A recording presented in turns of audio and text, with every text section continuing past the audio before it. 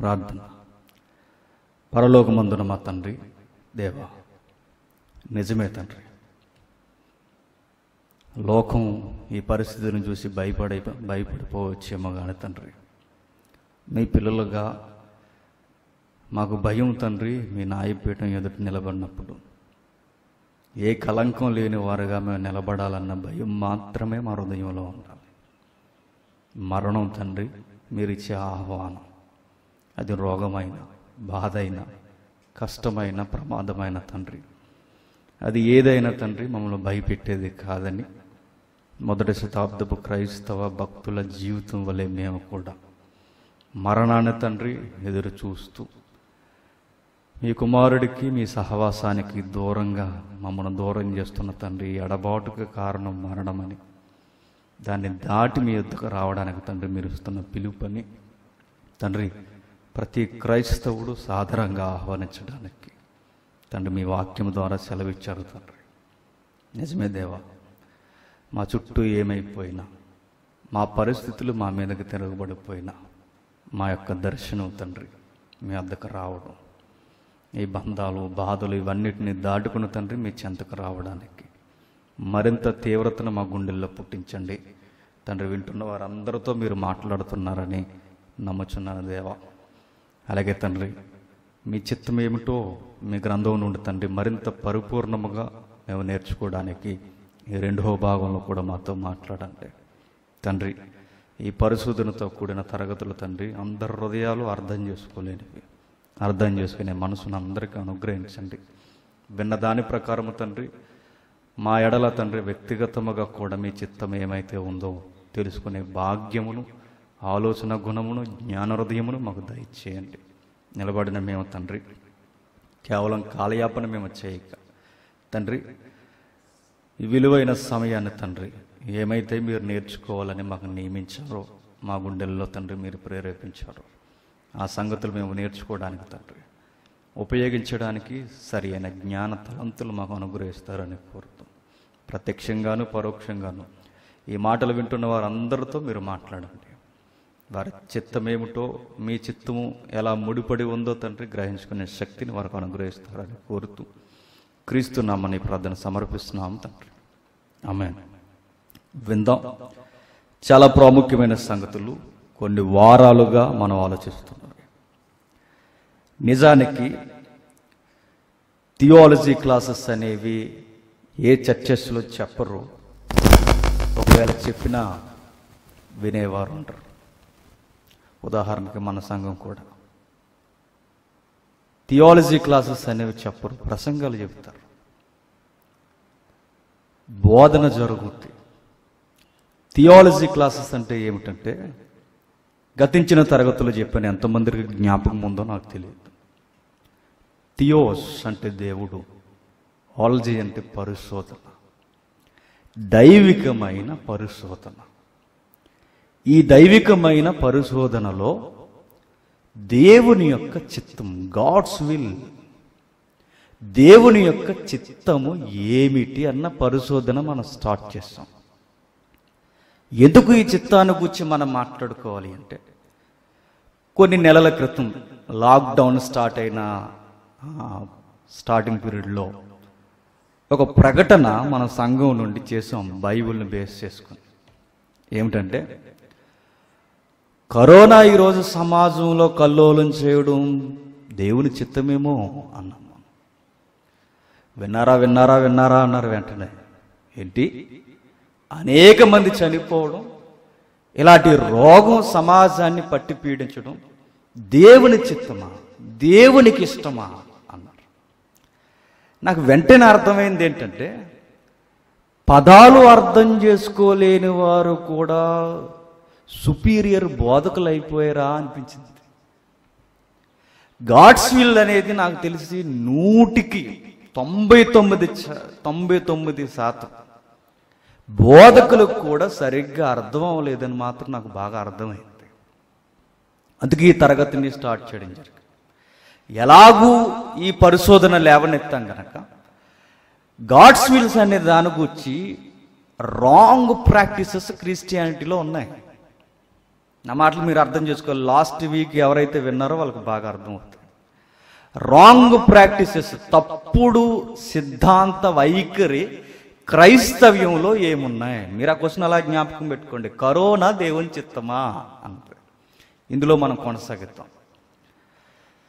ఏ దేవుని చిత్తం తెలుసుకోవడానికి ఏం ప్రాక్టీసెస్ వచ్చాయంటే కొన్ని మోడ మోస పద్ధతి ఆచారాలు వచ్చాయి. చాలామంది ఆ లాస్ట్ వీక్ కామెంట్స్లో విచిత్ర విచిత్రమైన కామెంట్స్ చేశారు.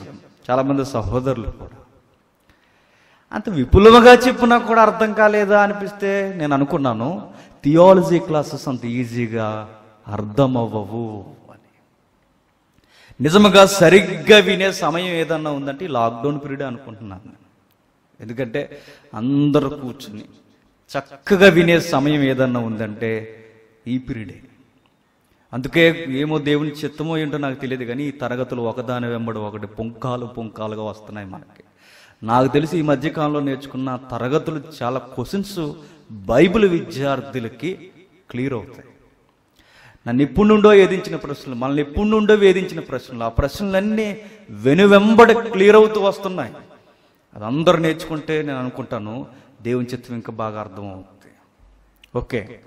వారు ప్రవేశపెట్టిన లేదా క్రిస్టియానిటీలో మూఢాచారంగా వచ్చిన కొన్ని ప్రాక్టీసెస్ ఏంటో జస్ట్ టచ్ చేసి మరలా రెండవ భాగంలోకి వెళదాం. మెల్లని స్వరము ద్వారా దేవుడు మాట్లాడతాడు అన్నారు. ఏమిటి మెల్లని స్వరం ద్వారా దేవుడు మాట్లాడతాడు అని మీకు రెఫరెన్సెస్ బేస్ ఏంటి అని అడిగితే ఏలియా గారి సందర్భాన్ని ఏలియా గారి యొక్క పరిస్థితులను తీసుకొని అక్కడున్న పరిస్థితులన్నిటిని విడిచిపెట్టి కేవలం మెల్లని స్వరంతో దేవుడు మాట్లాడాడు గనక ఆ మెల్లని స్వరంతో మాతో కూడా మాట్లాడతాడని పరిస్థితులు గాలి కుదిలేసి సందర్భం గాలి కుదిలేసి అన్ని పక్క గెంటేసి మాట్లాడిన కాలం పరిస్థితులన్నీ వదిలేసి ఒకే ఒక్క పదాన్ని తీసుకుని ఒక సొంత ప్రాక్టీస్ ఒక సిద్ధాంతం క్రిస్టియానిటీలోనికి మోస పద్ధతులు వచ్చింది. అదే దేవుడట ఏదో పక్క నుండి మెల్లని స్వరంతో మాట్లాడతాడట. నేను అన్నాను ఆ వివరణ ఇస్తున్నప్పుడు మెల్లని స్వరంతో మాట్లాడుతున్న ఫీలింగ్ నాకు వస్తుందంటే సిక్స్త్ సెన్స్ పనిచేస్తున్నప్పుడు కూడా ఫీలింగ్స్ వస్తాయి. మీకు అర్థమవుతుందో లేదో. ఏదైతే ఆ సెన్స్ పనిచేస్తున్నప్పుడు కొన్ని పరిస్థితుల్లో నుంచి మనకు అట్లా అనిపిస్తుంటుంది. అందుకే నోటంటూ అప్పుడప్పుడు కొన్ని మాటలు వస్తాయి నేను అన్నానా? నేను అన్నానా? అని. మరొకటి ఏంటంటే సిక్స్త్ సెన్స్తో మాట్లాడుతున్నారా లేదా వాళ్ళ ఫీలింగా లేదా ఇంటెన్షన్తో ఉద్దేశపూర్వకంగా కావాలని చెప్పారా అన్నదే వాళ్ళకి తెలియాలి. నేను ఎన్ని మాట్లాడుతున్నప్పుడు మీరు గుర్తుపెట్టుకోండి రెఫరెన్స్తో జోడించి బైబిల్తో కొలిసిన ఈ ప్రాక్టీస్లన్నీ. ఇవి ఎంతవరకు రైటు అని.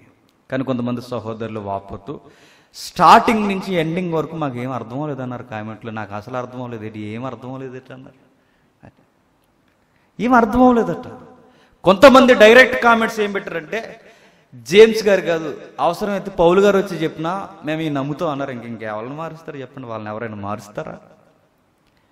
ఇంకా అలా డిసైడ్ అయిపోయారు. రెండో పట్టుక ఏంటంటే ఏదన్నా ఒక విషయాన్ని దేవుని దగ్గర విజ్ఞాపన చేసినప్పుడు ఆ మధ్యాహ్నానికో ఆ సాయంత్రానికో మన హృదయంలో పీస్ అనేది వస్తుంది. శాంతి అనేది మనకు వస్తుందంటే మనం దేవుడి దగ్గర పెట్టిన విషయం ఇది దేవుని చిత్తం అని మనకి ధృవీకరణ ఎట్లా జరుగుతుందంటే ఇదిగో దేవుడు ఒక పీస్ అనేది మనకి ఇస్తే ఆ సాయంత్రానికో మధ్యాహ్నానికో ఇస్తే ఆ శాంతి నీకు ఏం సైన్ ఇస్తుందంటే నువ్వు చెప్పినది లేదా నువ్వు ఏదైతే దేవుని ముందు పెట్టావు దేవా ఈ వివాహం దేవుని చిత్తం కదా? దేవా ఈ ఉద్యోగం దేవుని చిత్తం కదా? దేవా నేను పలానా ఊరు వెళ్ళాలనుకున్నాను దేవుడు నీ చిత్తమా కదా? దేవా నీ ఇల్లు కట్టాలనుకుంటున్నా నీ చిత్తమా కదా? అని ఒక నోటీస్ ఆయన దగ్గర మనం పెట్టినప్పుడు ఆ నోటీసు దేవుని చిత్తమే అనడానికి నీకు దేవుడు ఇస్తున్న రెఫరెన్స్ ఏంటని చెబుతారంటే పీస్ రావడం అంట. హృదయంలో పీస్ ఉంటే దేవుని చిత్తానుసారమైనది అని ఒక ప్రాక్టీస్ వచ్చింది ఒక సిద్ధాంతం. ఒకవేళ నిజముగా అది రైట్ అయితే అది అందరి జీవితంలో ఆ కొలత వర్తించాలి. అన్ని సందర్భాలకు అది సెట్ అవ్వాలి. ఎందుకంటే ఒక ప్రాక్టీస్ ఇది ఆత్మానుసారమైనది అన్నప్పుడు ఆత్మానుసారంగా రాయబడిన టెక్స్ట్ బైబుల్ బిబుల్కల్గా అది రైట్ అవుతే అవును. పరిశుద్ధాత్ముడు ఆయన మాట్లాడిన మాటలకి ఈ ప్రాక్టీస్ వ్యతిరేకం అవ్వట్లేదని ధృవీకరించుకోవడానికి అర్థం ఉంది. కానీ ఈ పీస్ అన్న దాన్ని బట్టే దేవుని చిత్తం అని మనం అనుకుంటే మేము దినదినం భయపడుతూ దేవుని సేవ చేస్తున్నాం అన్నాడు పౌలు గారు. దేవుని సేవ చేయడం దేవుని చిత్తమా కాదా? దేవుని చిత్తం. మరి భయపడుతూ సేవ చేస్తున్నప్పుడు మా హృదయంలో దినదినం భయం పెరుగుతుంది అన్నప్పుడు అంటే ఇది దేవుని చిత్తం కదా సేవ చేయడం? మరొకటి దేవుని చిత్తం ఇది అనడానికి ఇంకేం మాట్లాడతారంటే ఫర్ ఎగ్జాంపుల్ మనం ఎవరైనా అన్యుడికి సువార్త చెబుతున్నాం అనుకుంటే అన్యుడికి సువార్త చెబుతున్నప్పుడు మన గుండెల్లో భయం ఉంటుంది. ఏమనుకుంటాడో? ఏం మాట్లాడితే ఏమనుకుంటాడో? ఇప్పుడు ఎలా చెప్పాలో? ఒక ఆత్మను రక్షించే బాధ్యత దేవుడు నాకు ఇచ్చినప్పుడు దీన్ని న్యాయం చేస్తానో చెయ్యనో ఈ ఆందోళన మన గుండెల్లో ఉంటుందో ఉండదు? ఇంకే ఎగ్జాంపుల్ ఎవరో ఒకరు ఇక్కడికి వచ్చి మెసేజ్ చెప్పారు అనుకోండి. ఎగ్జాంపుల్కి నువ్వు నేను ఎవరో ఒకరు. నిలబడి చెప్తున్నప్పుడు ఎక్కడో తెలియని భయం బాధ్యత మన గుండెల్లో దోబూచులాడుతుంటుంది. ఎందుకు? దేవుడిచ్చిన ఈ సమయాన్ని నేను న్యాయం చెయ్యాలి. ఈ బాధ్యతను సరిగ్గా నేను ప్రజెంటేషన్ ఇవ్వాలి. నిజమైన స్పీకర్స్కి భయం ఏంటి చెప్పిన? అనుకున్న దేవుని మాటలు అక్కడ చెప్పకపోతే ఆ రోజు వాళ్ళకి నిద్ర పట్టదు. న్యాయం చేయలేకపోయానే. దేవుని మాటలు సరిగ్గా వినిపించలేకపోయాను. ఇప్పుడు నేను అడుగుతున్నాను గాడ్స్ విల్ అనేది పీస్ అయితే శాంతి అనేది దేవుని ఇచ్చే సైన్ అయితే ఇప్పుడు ఈ భయాలు కూడా మనకు కలుగుతున్నప్పుడు ఇది దేవుని చిత్తం కాదు. ఒక అన్యుడు మారడం ఒక పాపి మారడం దేవుని సర్వలోకం బాప్తీసం పొందడం దేవుని చిత్తం అయితే. ఇప్పుడు చెప్తున్నప్పుడు నాకు భయం వస్తుంది. దేవా ఇప్పుడు నీ ఇతనికి వాక్యం చెప్పడం నీ చిత్తమా కాదని నేను నోటీస్ చేసి ఆయన దగ్గర పెట్టినప్పుడు నా గుండెల్లో భయం కలుగుతుంది అనుకోండి. ఇప్పుడు దేవుని చిత్తం కాదన్నా. ఇవి లాజిక్ అంటారో రీజనింగ్ అంటారో ఆలోచించడం అంటారో పరిశోధన అంటారో వీక్షకులుగా వినేవారుగా విశ్వాసులుగా కనీసపు నాలెడ్జ్ మంది ఆలోచించాలి. మోస పద్ధతులు భక్తి జీవితానికి హెల్దీనెస్ కావు ఆరోగ్యకరమైన వాతావరణం కాదు. దేవుని చిత్తాన్ని కూడా అడ్డగించే పరిస్థితులు వస్తాయి. అందుకే దాని కొన్ని విషయాలు మనం ఆలోచించాం. మెల్లని స్వరం అంటే ఏలియా సందర్భం తీసుకున్నారు. ఇంకా శాంతి అంటే కొన్ని సందర్భాలు తీసుకోవడానికి ఏ రెఫరెన్స్ లేవు. ఒకవేళ కోట్ చేస్తే ఒక రెఫరెన్స్ కోట్ చేస్తారు. ఇదిగో మీ దుఃఖ దినములు సమాప్తమైనవి. శాంతి కలుగును కాక ఈ రెఫరెన్స్ కోట్ చేస్తారు. ఆ రెఫరెన్స్ ఎప్పుడు మాట్లాడుతున్నది అది? ఎగ్జామ్కి ముందు మాట్లాడితే ఎంత చండాలంగా ఉంటుందో ఎగ్జామ్ తర్వాత మాట్లాడేది ఎగ్జామ్ ముందుకు పెట్టినట్టు ఉంటుంది అనమాట నేను ఎగ్జామ్ రాయడానికి వెళ్ళాను అనుకోండి కాంపిటేటివ్ ఎగ్జామ్స్కి వెళ్ళాను అనుకోండి. ఎగ్జామ్కి వెళ్ళినప్పుడు ఇంకా రిజల్ట్ రాలేదు నేను రాయలేదు ఏ పాడు లేదు పనికిమాలి వ్యవహారంలోకి మాట్లాడుతున్నట్టు నీ యూనిఫామ్ కుట్టించేసుకో అంటే ఎలా ఉంటుంది? టెక్స్ట్ జరగాలిగా. పరీక్ష జరగాలిగా.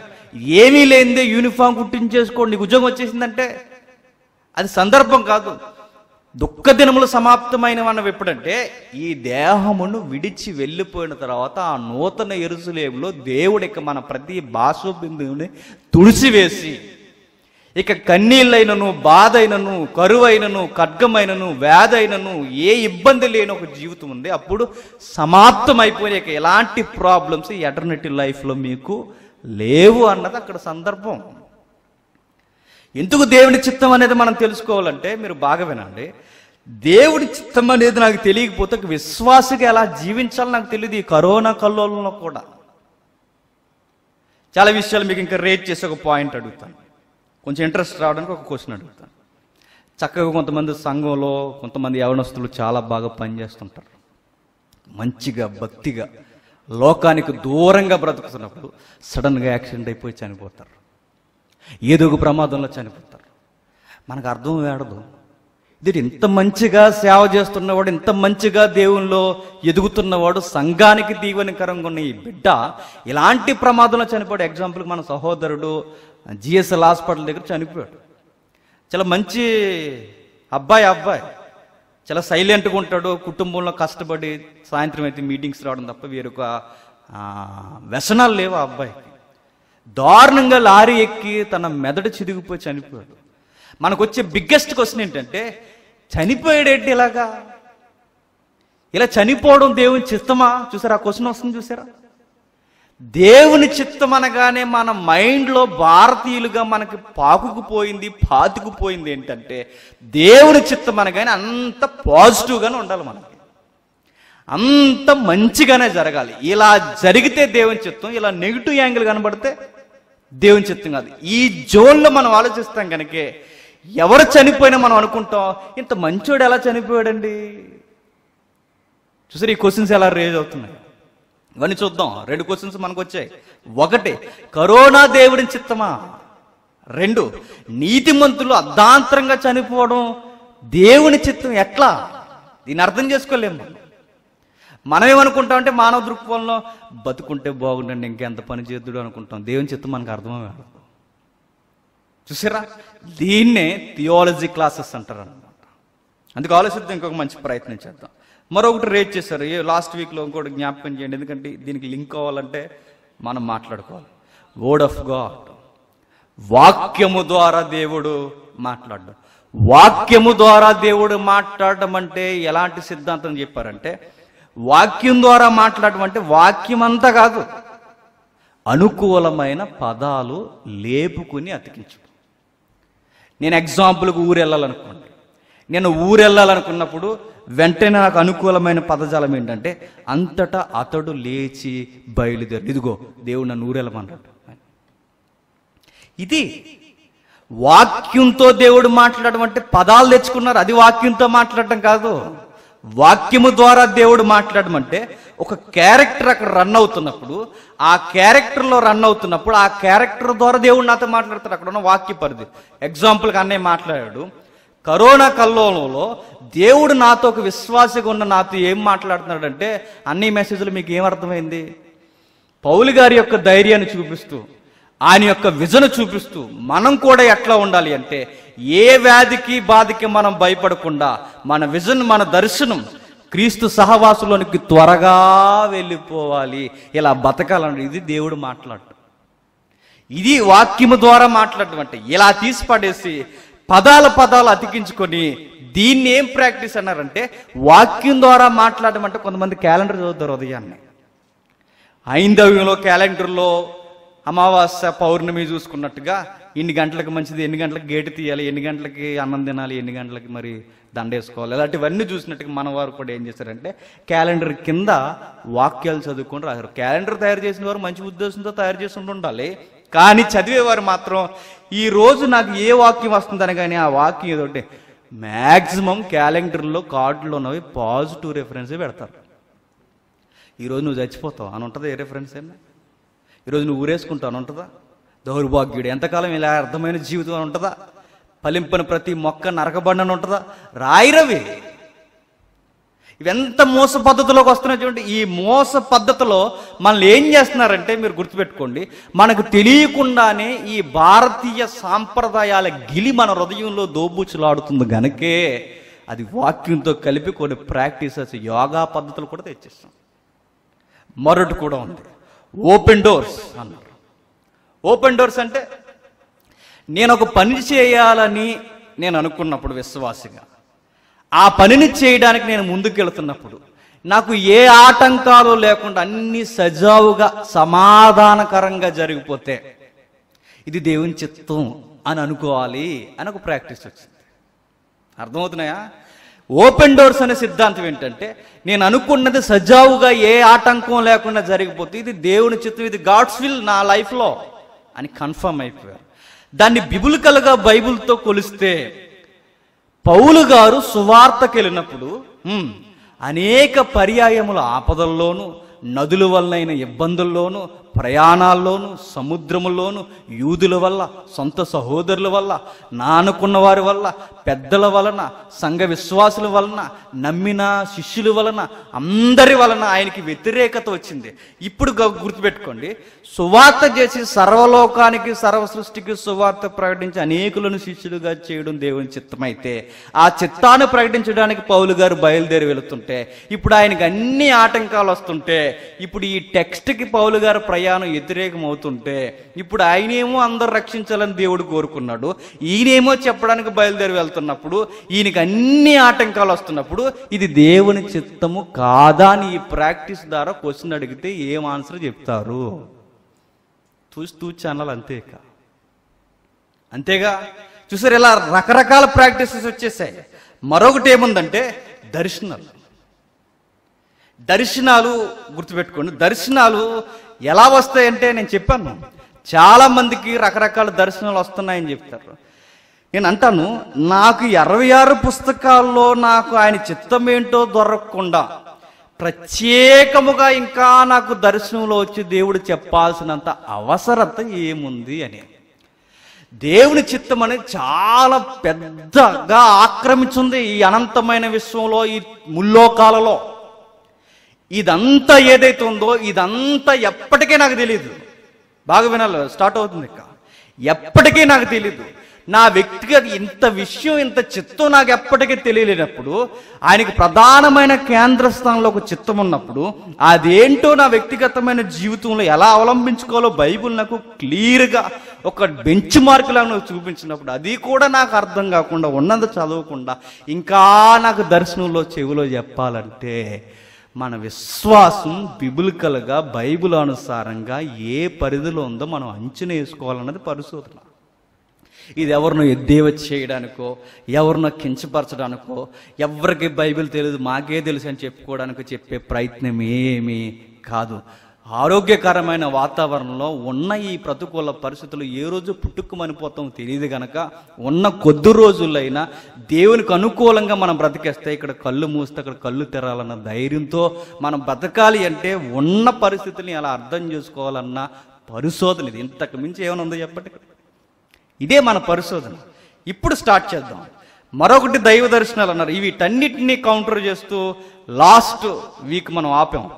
ఇప్పుడు దీన్ని కొనసాగిద్దాం. ఓకే.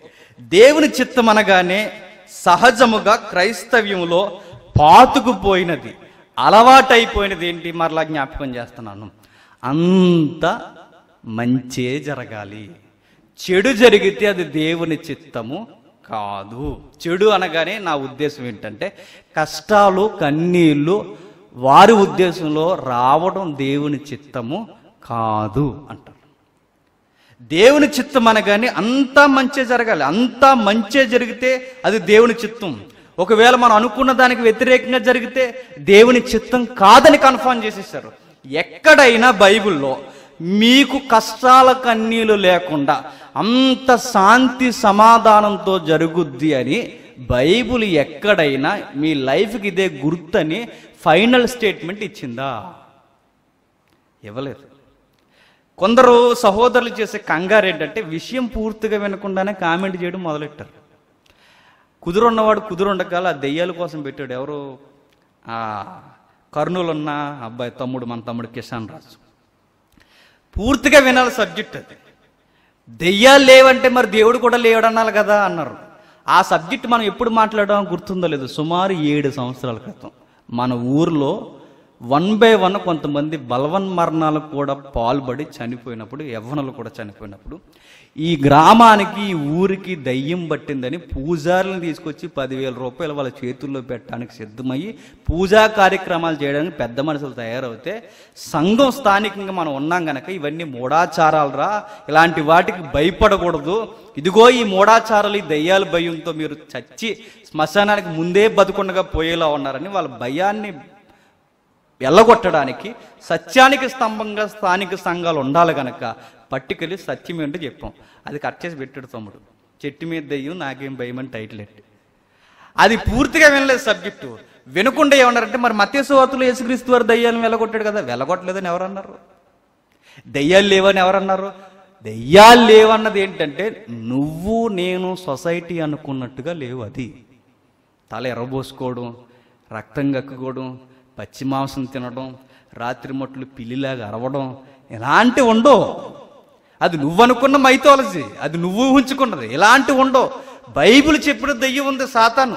అది నిన్ను నన్ను దులిమాడడానికి రెడీగా ఉంటుంది. అలా అనొచ్చి రాత్రులు గుండెల మీద కూర్చోదు. అలా అనొచ్చి నేను పట్టుకుని నా పేరు పుల్లయ్య అని చెప్పదు. ఇలాంటివి ఉండవు. ఈ టెక్స్ట్లు అర్థం చేసుకోలేవు. నాకు అదే బాధేసింది ఏంటంటే పూర్తిగా వినకుండా ఒక కామెంట్ అనేది ఇవ్వడం అది మంచి పరిశోధకుల లక్షణం కాదు. ఎగ్జాంపుల్కి చెప్పాను. ఇప్పుడు మనం స్టార్ట్ చేద్దాం. దైవికమైన చిత్తం అనగానే మంచే జరగాలి అంతా మంచే జరగాలి దైవికమైన చిత్తం అనుకుంటే ఉదాహరణకి బైబిల్లో నుండి ఒక క్యారెక్టర్ని తెర మీద తీసుకొద్దాం. ఎగ్జాంపుల్ ఏంటంటే రేపో మాపో ఆ అమ్మాయి పెళ్ళి చేసుకోబోతుంది. జ్ఞాపకం వచ్చిందో లేదో.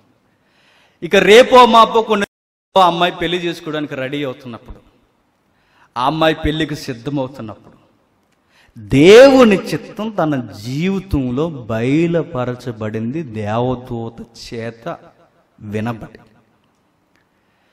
దేవుని చిత్తం పెళ్ళి చేసుకోవడమా కాదన్న తర్వాత విషయం తర్వాత పరిశోధనలు చూద్దాం ఈ అమ్మాయి పెళ్ళి చేసుకోవడానికి రెడీ అవుతున్నప్పుడు ఆ అమ్మాయి జీవితంలో దేవుని చిత్తం నాలుగు వందల సంవత్సరాల తర్వాత బాగా వినండి మలాకి గ్రంథం దగ్గర నుంచి నాలుగు వందల సంవత్సరాల తర్వాత గాడ్స్ విల్ ఏంటి అన్నది ఒక అమ్మాయికి చెప్పడం దేవదూత స్టార్ట్ చేసింది. ఎన్ని సంవత్సరాలు? నాలుగు వందల నాలుగు శతాబ్దాలు. నాలుగు వందల సంవత్సరాల తర్వాత ఒక అమ్మాయి ఒక కన్య. ఒక కన్యతో దేవుని చిత్తం ఏంటో మాట్లాడడం స్టార్ట్ అయింది. ఏమిటి దేవుని చిత్తం అనగానే మన మైథాలజీ ఏంటి? పాజిటివ్ రిఫరెన్స్ పాజిటివ్ పాజిటివ్గా మనకి బోధ వినబడాలి. ఇది అనుకుంటాం ఆమె ఎవరో మనకు తెలుసు. ఆమె యేసుక్రీస్తు వారిని కన్నా తల్లి అయిన మరియా. ఆమె కన్యగా ఉన్నప్పుడు దేవుని చిత్తం ఆమెకి వినబడింది. వినబడితే వినబడింది. ఇది దేవుని చిత్తం అని ఊరందరికి వినబడలేదు. అది గొడవ. ఆమెకు మాత్రమే వినబడింది. ఈ సందర్భాలు తీసుకుని మరలా నాకు వినబడుతుంది అనకూడదు. ఇది అరవై ఆరు పుస్తకాలు. ఈ కేనం తయారవక మునుపు దేవుడు నానా సమయాల్లో నానా విధములుగా సూచక్రియల చేతను మహత్కార్యముల చేతను ఆ దినముల్లో దైవికమైన భక్తులతో వాక్యానుసారంగా గ్రంథస్థం చేసి ఇవ్వబడలేని కాలాల్లో కొన్ని పరిస్థితుల ద్వారా దేవుడు మాట్లాడాడు ఇది క్లారిటీ పెట్టుకోండి. ఆ అమ్మాయి మాట్లాడుతున్నప్పుడు దేవాని చిత్తం ఏంటని అలా తేరు చూస్తున్నప్పుడు ఆమెకు వినబడిన దేవుని చిత్తం ఏంటంటే దేవదూత వచ్చి చెప్తుంది నువ్వు పెళ్ళి కాకుండా గర్భవతి అవ్వాలి అన్నాడు. ఇది దేవుని చిత్తం. అసలే ఆ ఊరు ఎలాంటి ఊరంటే వివాహానికి నీవింపబడిన కన్య వివాహానికి నీవింపబడిన ఆ పెళ్ళి కూతురు వివాహానికి ముందే ఇలాంటి తప్పుడు వైఖరితో ఎలాంటి వాళ్ళు అనుకున్న విజన్లో తప్పుడు వైఖరుల్లో ఏదన్నా పురుషుడితో సంభోగం జరిగించిన గర్భాన్నే కనబడేలా దాల్చిన ఆ అమ్మాయిని ఏం చేస్తారంటే రాళ్ళు ఇచ్చి కొట్టి చంపేస్తారు. దేవుని యొక్క చిత్తం మరే గారి జీవితంలో ఎట్లా ఉందంటే నలుగురికి తెలిసేలా లేదు. వాళ్ళు వెళ్తున్న ఏదైతే సమాజ మందిరంలో దేవదూత వచ్చి అక్కడున్న యాజీతోనో అక్కడున్న ప్రధాన గాయకులతోనో ఏదో ఒక విధంగా అక్కడ నిలబడి ఇదిగో పలానా నజరేతు గ్రామంలో గలలియా మండలం ఆ గ్రామంలో ఉన్న అమ్మాయిని నేను ఎంపిక చేసుకుంటున్నాను. ఆ అమ్మాయిని మీరు ఎవ్వరు ఏ నోటీస్ చేయొద్దు. ఏమి అనొద్దు. ఇది నా చిత్తం ఆ అమ్మాయి నా వలన. నా చిత్తానుసారంగా గర్భం దాలుస్తుందని సమాధ మందిరంలో దేవదూత నిలబడి మాట్లాడినా కొంచెం బాగుండేది కానీ దేవుని చిత్తం ఏంటో చెప్పిన? ఎవరికి తెలియదు. ఆమెకు మాత్రమే తెలుసు. ఈరోజు మనం బైబిల్ చదువుకున్నాం గనక ఆమె యేసుక్రీస్తు వారి తల్లి అని మనకు తెలుసు. ఒకవేళ తెలియకపోతే లైఫ్ లాంగ్ ఆమెకుండే ట్యాగ్ ఏంటో చెప్పనా? క్యారెక్టర్లెస్. ఎవరు? మరీ గారు. ఈరోజు మనం చదువుకున్న పరిశుద్ధాత్ముడు మనకు తెలియజేసేది కనుక తెలుసు మనకి. ఒకవేళ ఇది తెలియకపోతే లైఫ్ లాంగ్ ఆమె ఎలా బతకాలి చెప్పండి? ఒక క్యారెక్టర్ లేని స్త్రీగా బ్రతకాలి. దేవుని చిత్తం ఆమె జీవితంలో ఏంటంటే నీ గౌరవాన్ని కూడా పోగొట్టుకుని కన్నీళ్ళు కష్టాల గుండా నడవడమే నా చిత్తమని దేవుడు చెప్పాడు. ఇప్పుడు దేవుని చిత్తం అనగానే ఏ కష్టాలు ఉండకూడదు అనుకుంటే మరి మరీ గారు ఏమని అడగాలి? నీకు అర్థమవుతుందో లేదో ఇవే. మరి మరీ గారు ఏమని అడగాలి? దేవుని చిత్తాన్ని నెరవేర్చడానికి క్యారెక్టర్ లేని స్త్రీగా నిలబడింది.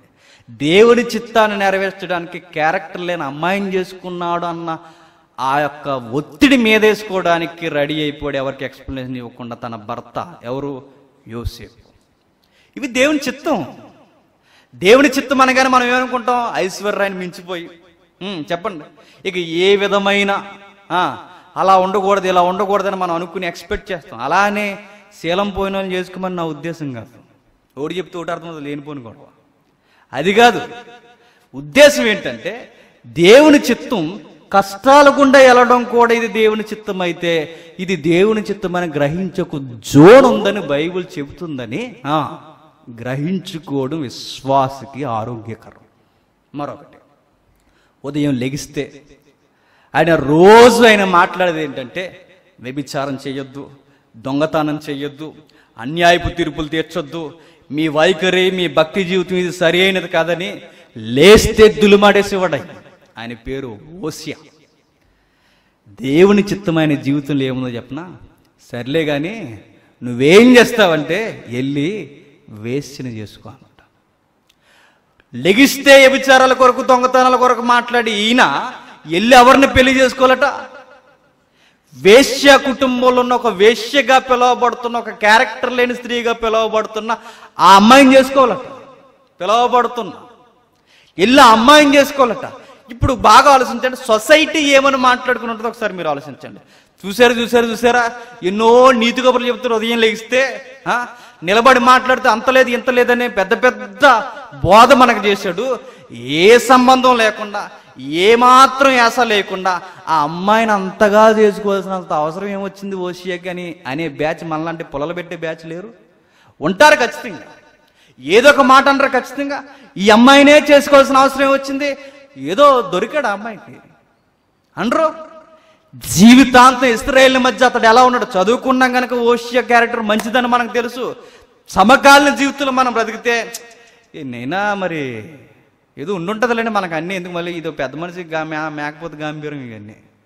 అంటే ఇండైరెక్ట్గా ఆన్సర్ ఇచ్చేసి మళ్ళీ ఏమీ లేదన్న సర్దుపడ్డాడు గిల్లేసి ఎడక నాన్న అన్నట్టు అన్నమాట. ఇలాంటివి ఓష జీవితంలో కూడా ఓష్య జీవితంలో ఏంటంటే దేవుని చిత్తం అనగానే అందరిలాగా కన్యం చేసుకోవడం కాదట. మరి వెళ్ళి చెడిపోయిన దాన్ని చేసుకోవడానికి చెడిపోయినట్టుగా పిలవబడుతున్నామని చేసుకోవడానికి రెడీ అవ్వన్నాడు అన్నీ నోటి మీద వేలేసుకొని కళ్ళు బిగించుకొని పళ్ళు బిగించుకొని చెవులు మూసుకున్నాడో లేదో నాకు తెలియదు కానీ దేవుని చిత్తం ఏమిటి అని ఆయన తెలుసుకోవడానికి ఇదిగో ఇస్రాయేల్ కూడా ఎట్లానే ఉన్నారని నీ లైఫ్ ద్వారా నేను ఆన్సర్ చేయాలనుకుంటున్నాను. నువ్వు వెళ్ళి చేసుకో అన్నాడు. చేసుకున్నాడండి. ఇప్పుడు పాజిటివ్గానే అన్నీ జరగాలంటే ఓషియా గారు ఏమని క్వశ్చన్ చేయాలి? ఫస్ట్ విశ్వాసులుగా మనం మార్చుకోవాల్సిన ధోరణి ఏంటో చెప్పనా? అంతా మంచే జరగడం దేవుని చిత్తం అనుకోవడం ముందు మన ఆలోచన మార్చుకోవాలి. మంచే కాదు జీవితంలోనికి కష్టాల కన్నీళ్ళు కూడా రావడం దేవుని చిత్తం. చూద్దాం ఇందులో పెళ్ళిళ్ళు వస్తాయి ఈరోజు పరిశోధనలో ఉద్యోగాలు వస్తాయి. అసలు పరిపూర్ణమైన దేవుని చిత్తం ఏంటి కూడా మనకు వస్తుంది. ఓకే పరిశీలన. దేవుని చిత్తాన్ని మూడు భాగాలుగా విభజించవచ్చు. థియాలజీ అనగా కొన్ని పట్టికలుగా మీరు ఆలోచించండి. మూడు భాగాలుగా. ఎలా మూడు భాగాలుగా దేవుని చిత్తం ఆలోచించవచ్చు అంటే ఒకటి పరిపూర్ణమైన దేవుని చిత్తం. ఏంటి? పరిపూర్ణమైన దేవుని చిత్తం. ఈ పరిపూర్ణమైన దేవుని చిత్తం ఎప్పటికీ ఎప్పటికీ ఏ మనుషులకి అంత తెలియదు. రెండు. అందరికీ తెలిసే దేవుని చిత్తం. మీకు అర్థమవుతుందో లేదు? ఒకటి సర్వాధికారంతో కూడుకున్న దేవుని చిత్తం. రెండు అందరికీ కామనగా తెలిసే దేవుని చిత్తం. మూడు నన్ను గైడ్ చేస్తూ దేవుడు నాకు ఇది నీ ఎడల నా చిత్తం ఇది అని తెలియజేసే వ్యక్తిగతమైన చిత్తం. ఎన్నొచ్చాయి? మూడు. ఏమేమి సర్వాధికారమైన దేవుని చిత్తం. రెండు. అందరికీ అర్థమయ్యేలా ఉండే దేవుని చిత్తం. మూడు. నీకు వ్యక్తిగతంగా గైడ్ చేసే దేవుని చిత్తం. నిజంగా చెప్తున్నా ఈ క్లాస్ మీకు అర్థమైతే మీ లైఫ్ స్టైల్ ఏంటో మీకు అర్థమైపోతుంది. మరలా అందరికీ తెలియని దేవుని చిత్తం ఏంటంటే పరిపూర్ణమైన చిత్తం ఒకటి ఉంది. ఎగ్జాంపుల్కి మనం అర్థం చేసుకోవాలనుకుంటే బైబుల్ దేవుని చిత్తాన్ని పరిపూర్ణంగా తెలియజేస్తాదా తెలియజేయదా? చెప్పండి. తెలియజేయదు. ఇది మెల్లని గుసగుస. మనకు ఎంతవరకు ఇన్ఫర్మేషన్ అవసరమో నిత్యత్వానికి వెళ్ళడానికి అంతవరకే బైబిల్లో దేవుడు దేవుడు రిలీవ్ చేశాడు. రిలీవ్. ఏదైతే మనకు అవసరం అనుకున్నాడో దేవుడు ఎంతవరకు రివీల్ చేస్తే వీళ్ళకి అర్థం అవుద్ది దేవుడు అంతవరకు మాత్రమే బైబిల్లోంచి దేవుడు మాట్లాడాడు. ఈ బైబిల్కి వెలుపల బాగా వినండి ఈ బైబిల్కి వెలుపల సర్వాధికారి అయిన దేవునికి ఇంకా సంపూర్ణమైన చిత్తం ఉంది అది ఎప్పటికీ మనకి తెలియదు ఎగ్జాంపుల్ ఏంటో చెప్పనా? దేవుడా ఇన్ని నక్షత్రాలు ఇన్ని గ్రహాలు ఇవన్నీ ఎందుకయ్యా నువ్వు జీవితాంతం ప్రార్థన చేయి? నీది వెళ్ళదు ఎప్పటికీ తెలదు నీకు. ఎందుకు? అది ఆయన జోన్లో ఉన్న చిత్తం అది. అది నీకు అనవసరం. నువ్వేంటంటే నీ పాపాలను వదిలించుకొని రక్షకుణ్ణి ఆనుకొని నిత్యత్వానికి ఎలా రావాలో బయలుపరచబడిన చిత్తం గ్రంథం. అది నువ్వు చదువుకో అంటాడు. మరొకటి. డైనోసార్స్ అనేవి ఎప్పుడో పుట్టాయి అందుకు చచ్చిపోయి ఇందుకు చచ్చిపోయిన ఎవరెవరో ఏవో చెప్పారు కానీ అంత లేదు. అవి ఎందుకు పుట్టాయి? ఎందుకు పోయాయి? అసలు ఏంటి? అవసరం లేనప్పుడు నువ్వు ఎందుకు పుట్టించావు? నువ్వు జీవితాంతం ప్రార్థన చేయ వీటి కొరకు. నీకు నాకు ఎప్పటికీ తెలియదు చెప్పలేదు ఆయన. మరొకటి. ఒకరోజు గెచ్చమనే వనము కార్యముకు ముందు శిష్యులు పర్సనల్గా మాట్లాడుతున్నప్పుడు నీ రాకడెప్పుడు జరుగుద్ది ప్రభువా? అని అడిగితే మీరేం చేస్తారంటే దాన్ని తెలుసుకోవడం మీ చిత్తము కాదు. ఈవెన్ వస్తున్న నాకు కూడా ఆ డేటు ఆ టైం కూడా నాకు తెలీదు. అది దేవుని చిత్తం. రెండో రాకడ ఎప్పుడు జరుగుద్దని సంఘం అంతా లైఫ్ లాంగ్ ప్రార్థన చేయండి. తెలీదు. నీకేమర్థమవుతుందో? దేవుని యొక్క సర్వాధికారంతో కూడుకున్న పరిపూర్ణమైన చిత్తంలో కొన్ని విషయాలు విశ్వాసికి ఎప్పటికీ తెలియవు. అవి అగమ్య గోచరం. ఆ మర్మాలు మనకే అందించడం మరొకటి. ఒకరోజు శిష్యులు మాట్లాడుతూ ఏమని అపోస్తుల కార్యం మొదటి అధ్యాయం ఎనిమిదో వచ్చిన చూద్దాం ఒకసారి. మొదటి అధ్యాయం ఎనిమిదో వచ్చిన జాగ్రత్తగా వినండి. మొదటి అధ్యాయం ఎనిమిదో వచ్చిన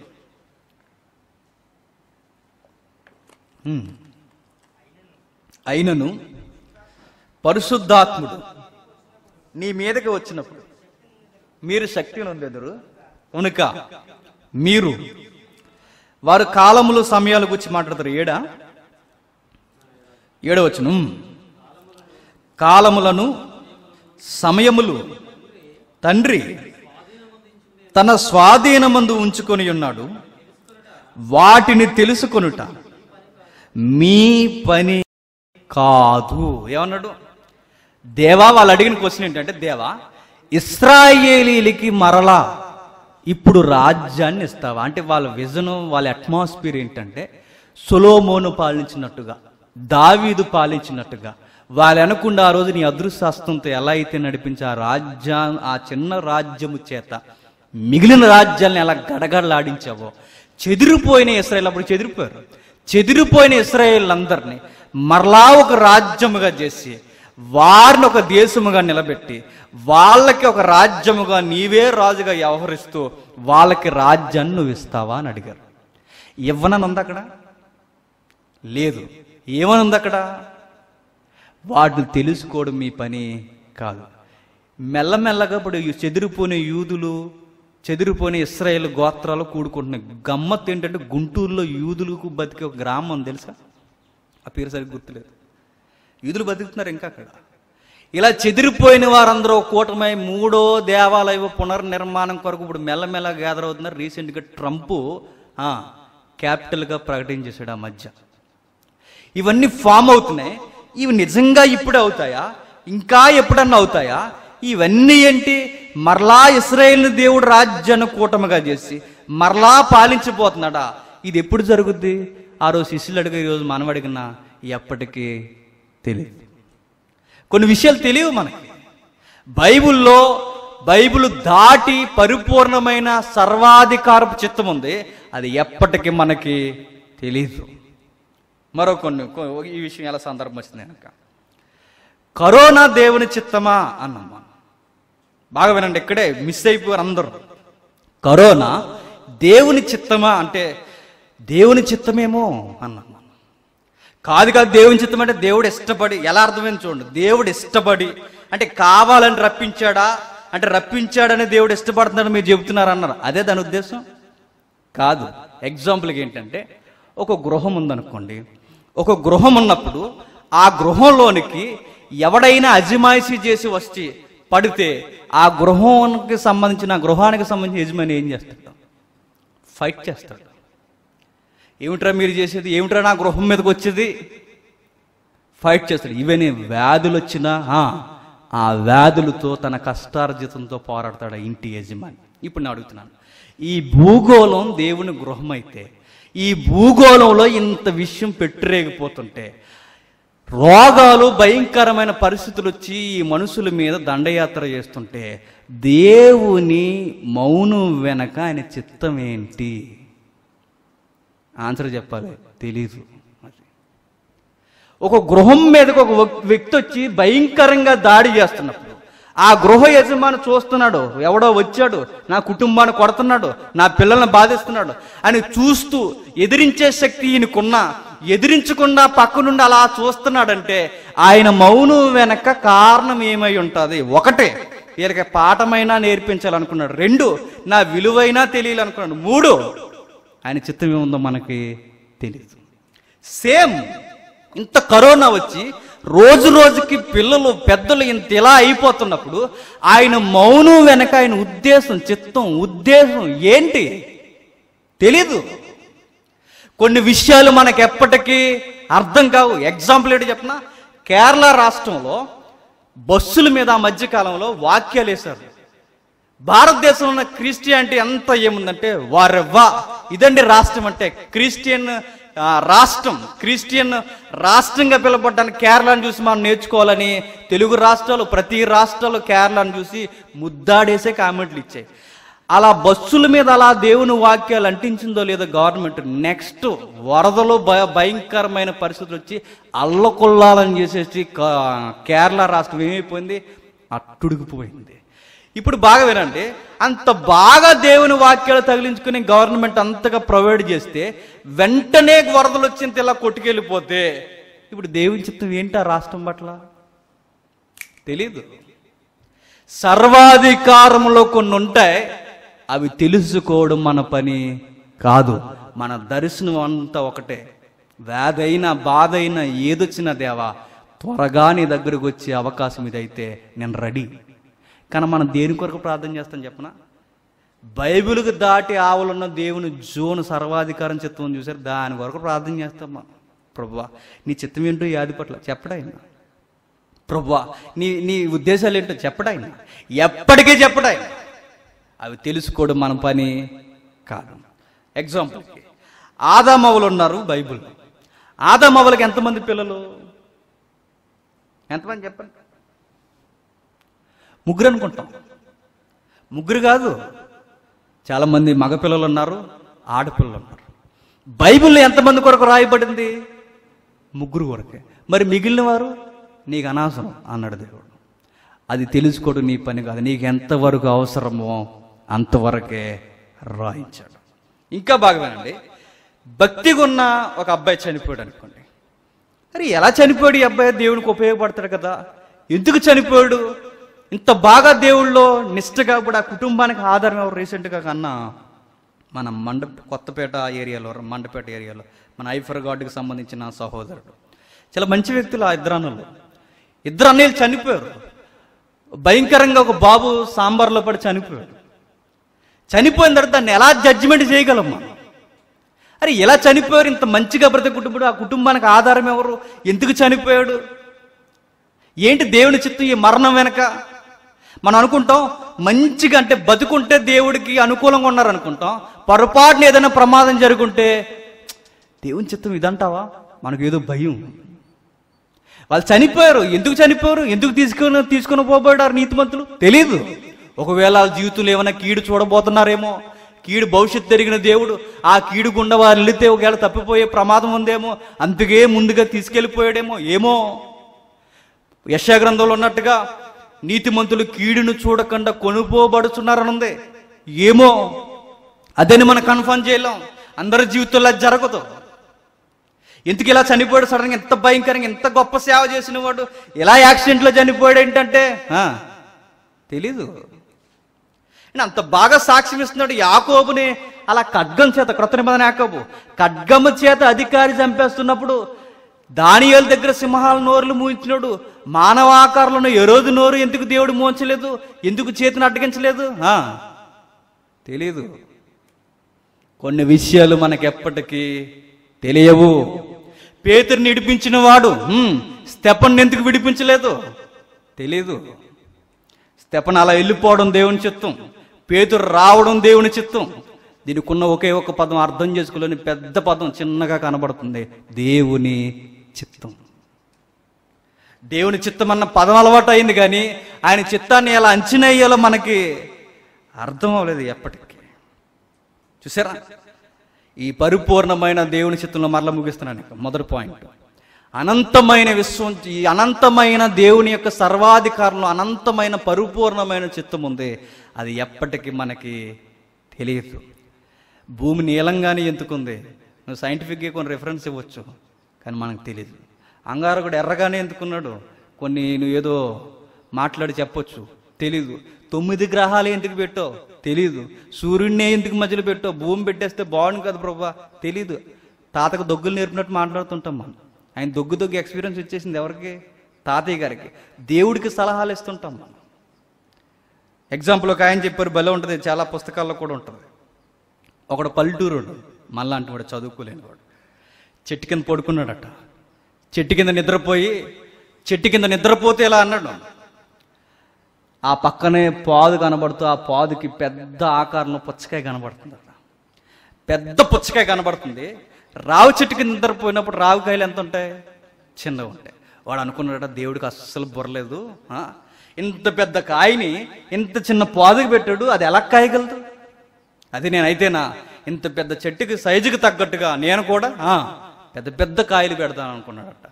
వాడు నిద్రపోయినప్పుడు ఒక పండు రేగు పండు వచ్చి మీద పడ్డది. వాడికి అర్థమైందట.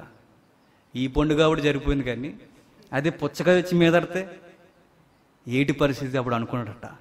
దేవుడి తలంపులు వేరు మన తలంపులు వేరు. ఆయన్ని మనం అర్థం చేసుకోవడం కొన్ని విషయాల్లో మనకి అర్థమవుదాం. అలా తాతకి దొగ్గులు నేర్పాలనుకుంటే వాడు ఏమంటున్నాడు? దేవుడికి అస్సలు మైండ్ పనిచేయట్లేదు అన్నట్టు మాట్లాడాడు. తాత దొగ్గు దొగ్గు సీనియర్ అయిపోయాడు. నువ్వు వెళ్ళి ఆ తా అలా దొగ్గ కూడా తాతయ్య కాదు. ఓహో అని ఇలా దొగ్గాలంటే నోరు మీరా అని మళ్ళీ మన మొహం మీద దుగ్గుతారు దొగ్గడు. అలాగే దేవుడికి కూడా మనం ఏం నేర్పించాలనుకుంటాం అంటే కొన్ని దేవుడికి ఏదో తెలియనన్నట్టుగా ఆయన చిత్తం బయట ఉన్న దాన్ని తెలుసుకోవాలన్న ప్రయత్నాలు మనం చేస్తుంటాం. అది తప్పు. మీరు ఈ తరగతులన్నింటిలో ఈ రెండు తరగతుల్లో మీరు మర్చిపోకూడని సన్నటి తీగ ఏంటంటే మంచి జరగడం దేవుని చిత్తమని మాత్రం మీరు కన్ఫర్మ్ అయిపోకండి. వ్యతిరేకమైన పరిస్థితులు జరగడం కూడా దేవుని చిత్తం. ఇప్పుడు ఫస్ట్ మనకైంది. సర్వాధికారులు ఉన్న దేవుని చిత్తం ఎప్పటికీ మనకి తెలియదు. ఒక రెఫరెన్స్ చూద్దాం. ద్వితీయోపదేశకాండం. ఇరవై తొమ్మిదవ అధ్యాయం. ద్వితీయోపదేశకాండం ఇరవై తొమ్మిదవ అధ్యాయం. చాలా అవసరం ఈ రెఫరెన్స్ ద్వితీయోపదేశకాండం ఇరవై తొమ్మిదవ అధ్యాయం. ఇరవై తొమ్మిదవ వచ్చినాం రహస్యములు. మన దేవుడైన యహోవాకి చెందును. అయితే మనం ఈ ధర్మశాస్త్రపు వాక్యములన్నిటినీ అనుసరించి నలు నడుచుకొనినట్లు బయలుపరచబడినవి ఎల్లప్పుడూ మనవియు మన సంతతి వారిని అగును. ఒక మాట రాయబడిన చూడండి. ఆ రెఫరెన్స్లు ఎన్ని భాగాలు కనబడుతున్నాయి చూడండి. ఒకటి రహస్యములు మన దేవుడైన యహోవాకి చెందును. ఆయన చిత్తంలో ఎన్నో రహస్యాలు ఉన్నాయి అవన్నీ ఆయనకి చెందును. అయితే ఆ ఉన్న రహస్యాలలో కొన్ని బయటకు వచ్చాయట ఎట్లా? వాక్యము ద్వారా బయలుపరచబడింది. నీకు అర్థమవుతుందో లేదు? వాక్యము ద్వారా బయలుపరచబడిన చిత్తం మనదే. ఉంది అక్కడ వాక్యము ద్వారా బయలుపరచబడిన చిత్తం ఏదైతే ఉందో అవి మనవి మనం నేర్చుకోవలసినవి. ఆయన ఆయన యొక్క జోన్లో ఎన్నో మర్మాలు ఉన్నాయి అవి ఎప్పటికీ మనకు తెలియవు. వాక్యము ద్వారా బయలుపరచబడినవి కొన్ని ఉన్నాయి అవి మాత్రమే మనకు తెలిస్తే అవి మనకు చెందినవి. ఆయనకి చెందిన కొన్ని మర్మాలు ఉన్నాయి ఎప్పటికీ తెలియవు. మనకు తెలిసిన ఒక మర్మం ఉంది అది మనకు చెందింది. ఏమిటది? ఇది ఇప్పుడు మన పరిశీలన. సర్వాధికారమైన దేవుని చిత్తంలో ఎన్నో ఉంటాయి అవన్నీ మనకి తెలియవు. అయితే ఒక విషయాన్ని మాత్రం బయలుపరచాడట. అది అందరికీ తెలిసే చిత్తం. అర్థమవుతుందో లేదు? అందరికీ తెలిసేలా వాక్యము ద్వారా ఒకటి బయలుపరిచాడట. ఏమిటి ఆయన వాక్యము ద్వారా అందరికీ తెలిసేలా బయలుపరిచింది? దేవుని మర్మం ప్రత్యక్షపరచబడింది పెద్దాయన పౌలు గారు. ఏమిటి అది అంటే క్రీస్తు మానవ ఆకారంలో ఈ భూమి మీదకి రావడమే దేవుని చిత్తం. మన కళ్ళ ఎదుట ప్రదర్శన చేయబడింది. అంటే అనంతమైన విశ్వంలో సెంటర్ సెంటర్లో ఉన్నది. గాడ్స్ సెంటర్ విల్ ఏంటి అని ఒకవేళ నువ్వు బైబిల్తో కొలవగలిగితే యేసుక్రీస్తు అన్న ఆయనను గుర్తెరగడం బాగా వినాలి. యేసుక్రీస్తు అన్న ఆయన్ను గుర్తెరగడం అందరికి ఓపెన్ చేసిన సీక్రెట్ అట. యేసుక్రీస్తు అన్న ఆయన బాహాటంగా ఈ భూమి మీదకి ఆ దైవ రూపం బాహాటంగా ఈ భూమి మీదకి ఎందుకు వచ్చిందంటే ఇది అందరూ తెలుసుకోవలసిన చిత్తం. ఎట్లా? పౌలు గారు చాలా లోతుగా డెప్త్ కల్చర్తో ఆయన రాసేసాడు అవి కొన్ని విషయాలు మనం అర్థం చేసుకోవడం చాలా కష్టం అవుతుంది థియాలజీ క్లాసెస్లో తప్ప. చూద్దాం ఒకసారి. ఎన్నో మార్లు చదివేశాం మనం. ఎపిసిలికి రాసిన పత్రిక. మొదటి అధ్యాయం. ఎబిసీలకు రాసిన పత్రిక ఎపిసి సంఘానికి రాసిన పత్రిక మొదట అధ్యాయం. ఎపిసి సంఘానికి రాసిన పత్రిక మొదట అధ్యాయం నాలుగో వచ్చుండే ఎట్లనగా తన ప్రీనియందు తాను ఉచితముగా మనకు అనుగ్రహించిన తన కృపా మహిమకు కీర్తి కలిగినట్లు తన చిత్త ప్రకారమైన దయా సంకల్పము చొప్పున యేసుక్రీస్తు ద్వారా తనకు కుమారులుగా స్వీకరించుటకై మనలను ముందుగా తన కోసం నిర్ణయించుకుని మనము తన ఎదుట పరిశుద్ధులం.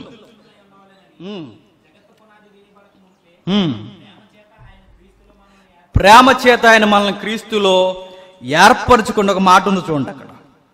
ఈ మాట మనకు అర్థం కావాలి అంటే రోమన్ కల్చర్ మనకు తెలియాలి. రోమీల చట్ట చట్టబద్ధమైన నాగరికత మనకు తెలియాలి. ఎప్పుడు ఒక తరగతిలో టచ్ చేసి వెళ్ళిపోయిన మాట ఎంతమందికి జ్ఞాపకం ఉందో. ఏమిటదంటే యేసుక్రీస్తు ద్వారా తనకి కుమారులుగా స్వీకరించడానికి కుమారులు అన్న పదం ఎందుకు ఉపయోగించడు? పిల్లలు అనాలి కదా. బాగా వినాలండి ఈరోజు పిల్లలుగా స్వీకరించడానికి కనుక ఎందుకు అనలేదు కుమారులు అన్న పదం ఎపిసి సంఘానికి రాస్తున్నప్పుడు ఎందుకు ఉపయోగించాడు? ఎపిసి సంఘం ఎపిసి పట్టణం రోమా ప్రభుత్వపు పౌరసత్వ అండర్లో ఉంది ఆ కల్చర్లో ఆయన రాస్తున్నప్పుడు చట్ట పరిధిలో చట్టపరమైన కొన్ని భాషా విధానాలు ఆయన ఉపయోగించాడు. ఎవరు? పౌలు గారు. ఎట్లా అంటే బాగా వినండి. లోకంలో ఉన్నవారు అన్ని మతాలకు చెందిన వారు అందరూ దేవుని పిల్లలా కదా అందరూ దేవుని పిల్లలే. కానీ అందరూ కుమారులు కారు. బాగా విన అందరూ దేవుని పిల్లలే.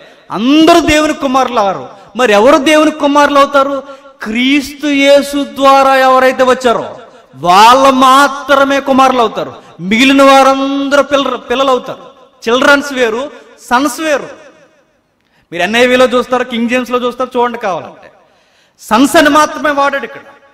అర్థం కావాలంటే రోమా చట్ట పరిధిలో కొన్ని హక్కులు మనకు తెలియాలి. ఎట్లా అంటే రోమీలకి చట్ట ప్రకారం ఎన్ని పెళ్ళిళ్ళు చేసుకున్న తప్పు కాదు.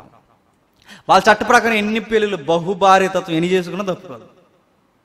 అది మన భారతదేశంలో అయితే దరిద్రం ఇప్పుడు కూడా అలవాటు అవుతుందండి ఒక పెళ్ళే చేసుకోవాలి చట్ట ప్రకారం. రోమా ప్రభుత్వపు అధికారం ప్రకారం ఎన్ని పెళ్ళిళ్ళు చేసుకుని ఎంతమంది పిల్లలను కన్నా అది చట్ట ప్రకారం నేరం కాదు. ఇప్పుడు ఒక యజమానికి అనేక మంది భార్యలుండి అనేక మంది భార్యల్లో అనేక మంది పిల్లలు పుడితే వీళ్ళందరూ ఆయనకి పిల్లలు అవుతారు కానీ ఆస్తికి హక్కుదారులు మాత్రం ఎవరైతే హయ్యర్స్గా ఆయన స్వీకరించాడో వాళ్ళు మాత్రమే వారసులు అవుతారు వారే కుమారులుగా పిలువబడతారు. అర్థమైతే ఇక ధన్యత ఇక.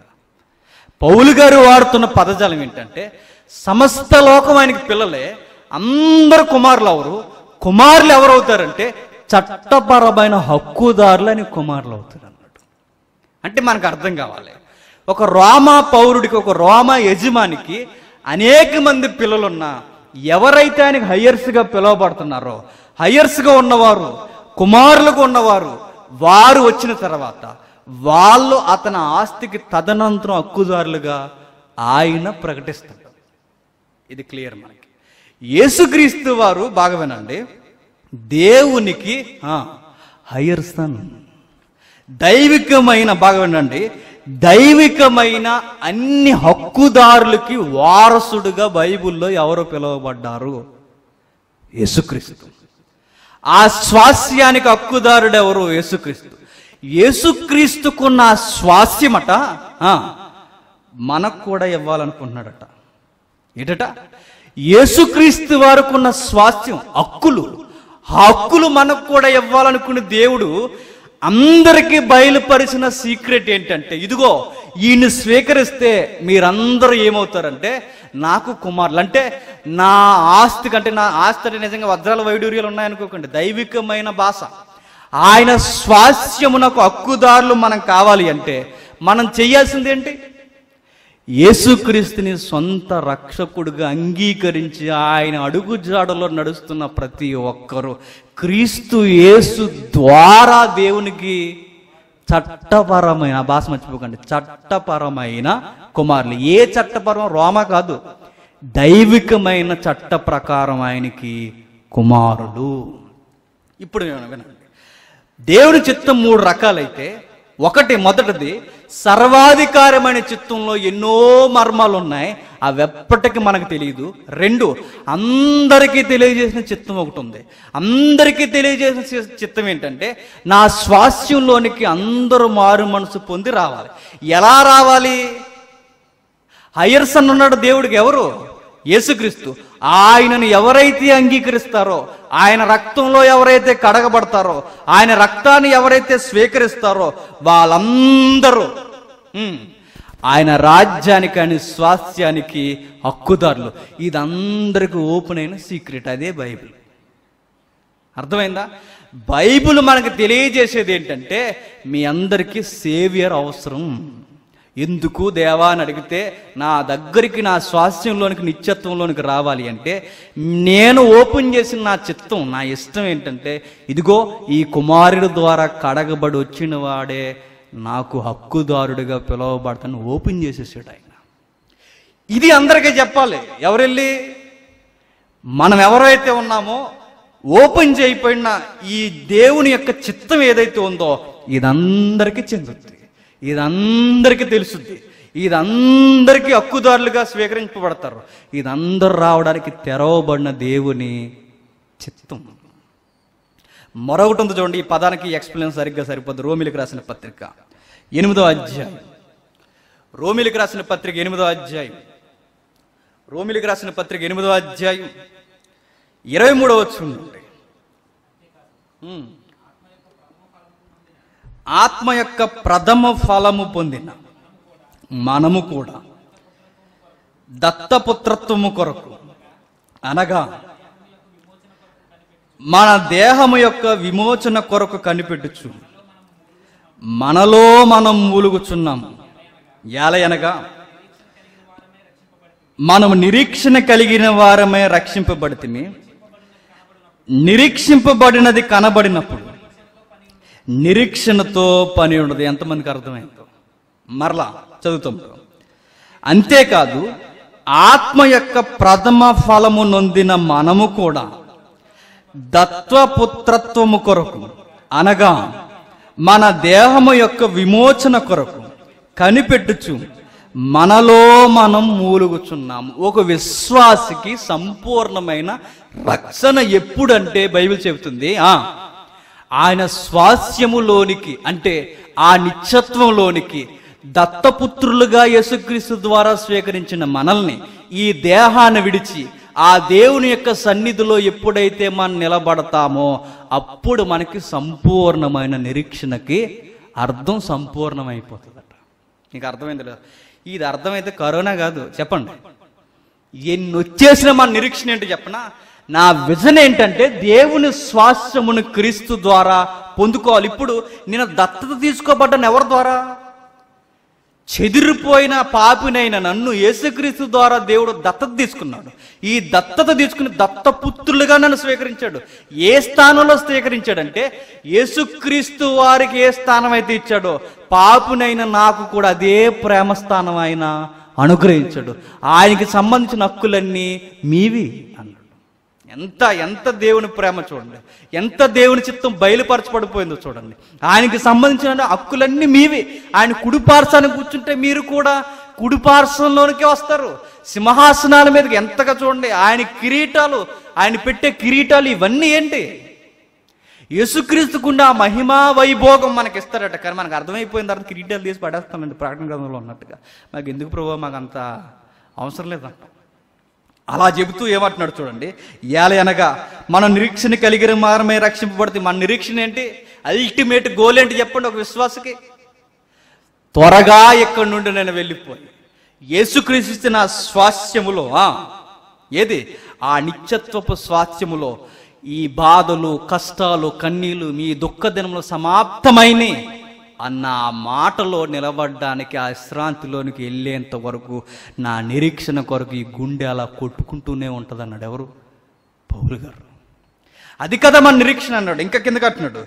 నిరీక్షింపబడినది బయలు కనబడుచున్నప్పుడు నిరీక్షణతో పని ఉండదు. తాను చూచుచున్న దాని కొరకు ఎవడ నిరీక్షను మనము చూడని దాని కొరకు నిరీక్షించిన ఎడల ఓపికతో దాని కొరకు కనిపెట్టదు ఎంత బాగుందో చూడండి. క్రైస్తవ విజన్.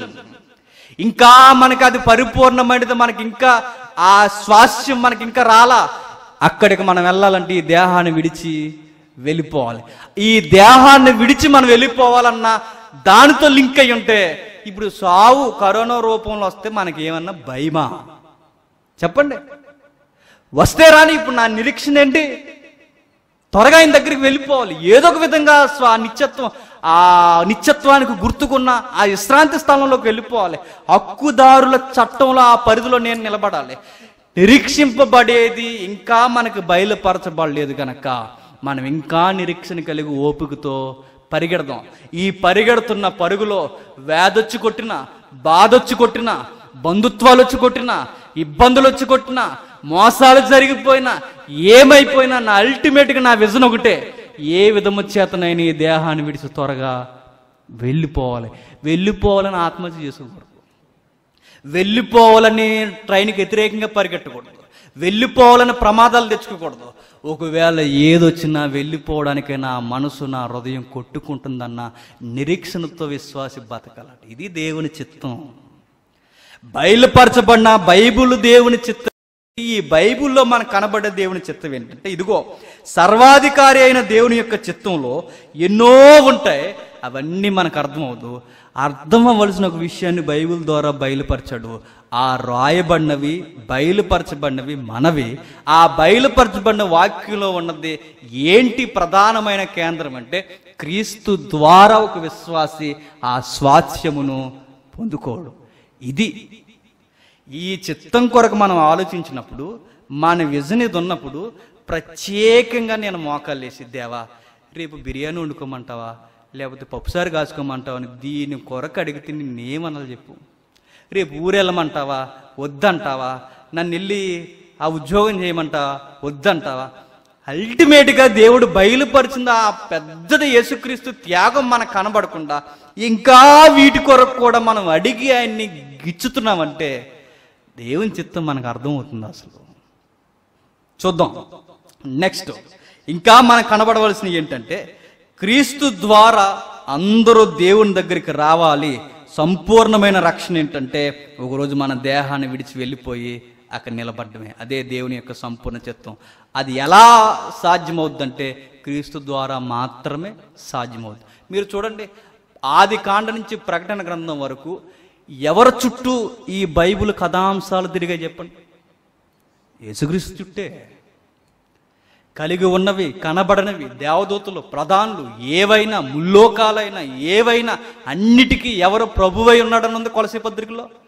యేసుక్రీస్తు. ఆయన ఎరుగుటయే నిత్యజీవం. ఆయన స్వీకరించడమే మన స్వాస్యం. ఇది గాడ్స్ విల్ ఓపెన్ అయింది ఏంటంటే మనకు బయలుపరచబడింది ఏంటంటే దేవుని చిత్తం. యేసుక్రీస్తు దైవం యొక్క ప్రత్యక్షత బయలుపరచబడిన తిమోతి అంటాడు అక్కడ.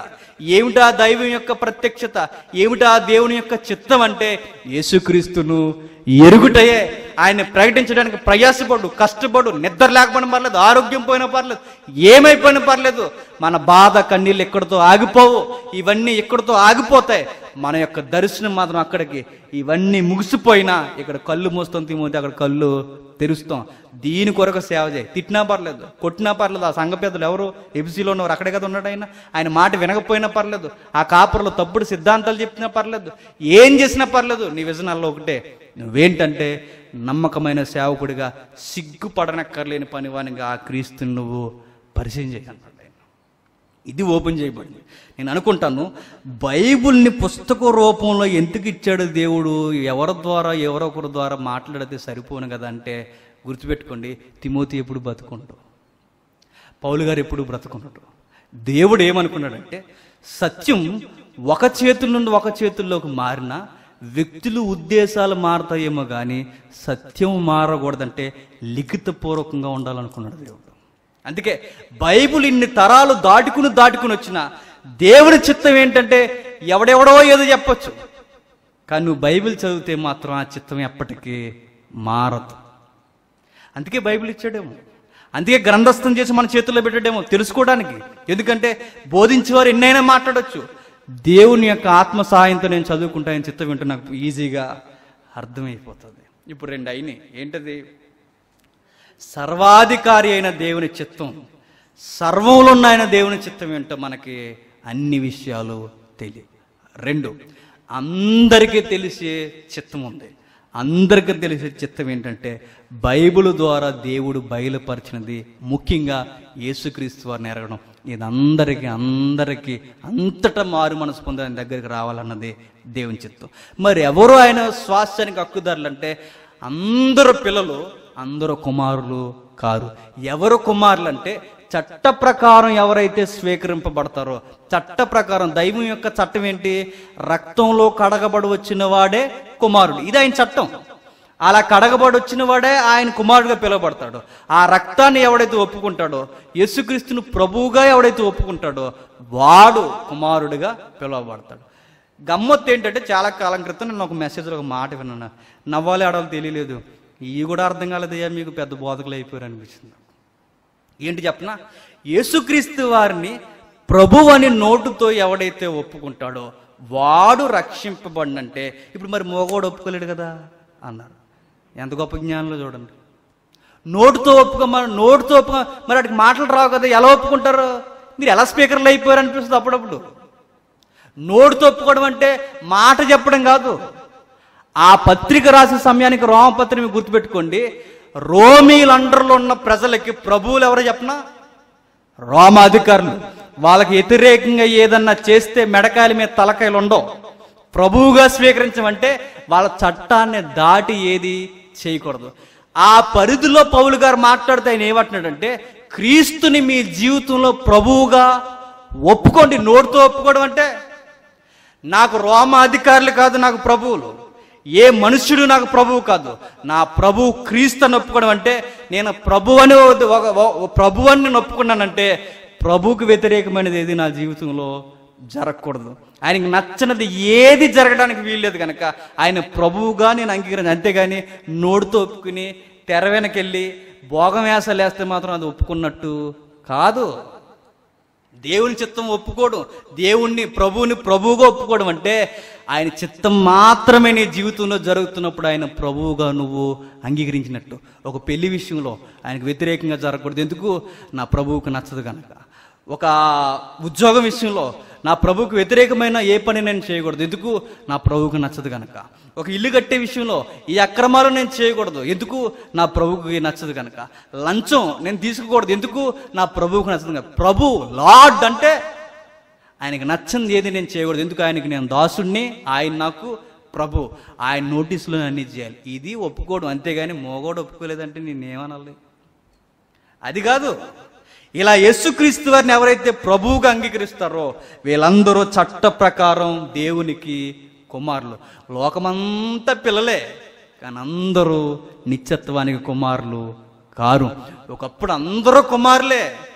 ఆది కుటుంబం దగ్గర నుంచి గాడి తప్పిపోయింది.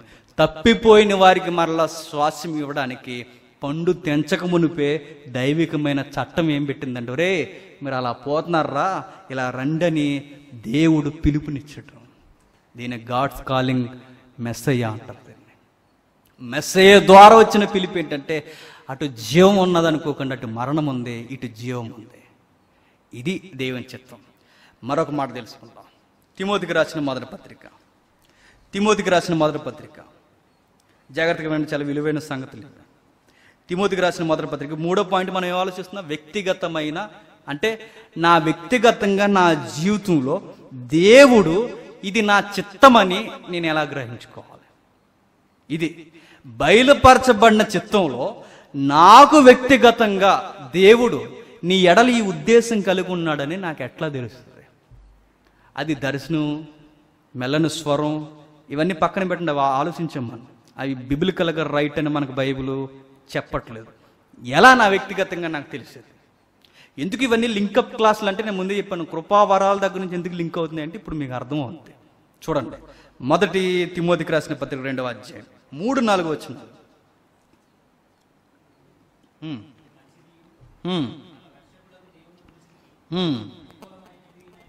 అనుకూలమై ఉన్నది ఆయన. మనుషులందరూ రక్షణ పొంది. సత్యమును గూర్చి అనుభవ జ్ఞానం కలవారి ఉండవలనని ఇచ్చేయించుచున్నాడు దేవుడొక్కడే మనుషులందరూ సత్యమును గూర్చి అనుభవ జ్ఞానం కలిగి ఉండాలని దేవుడు ఇష్టపడుతున్నాడు ఇష్టం అంటే చిత్తం.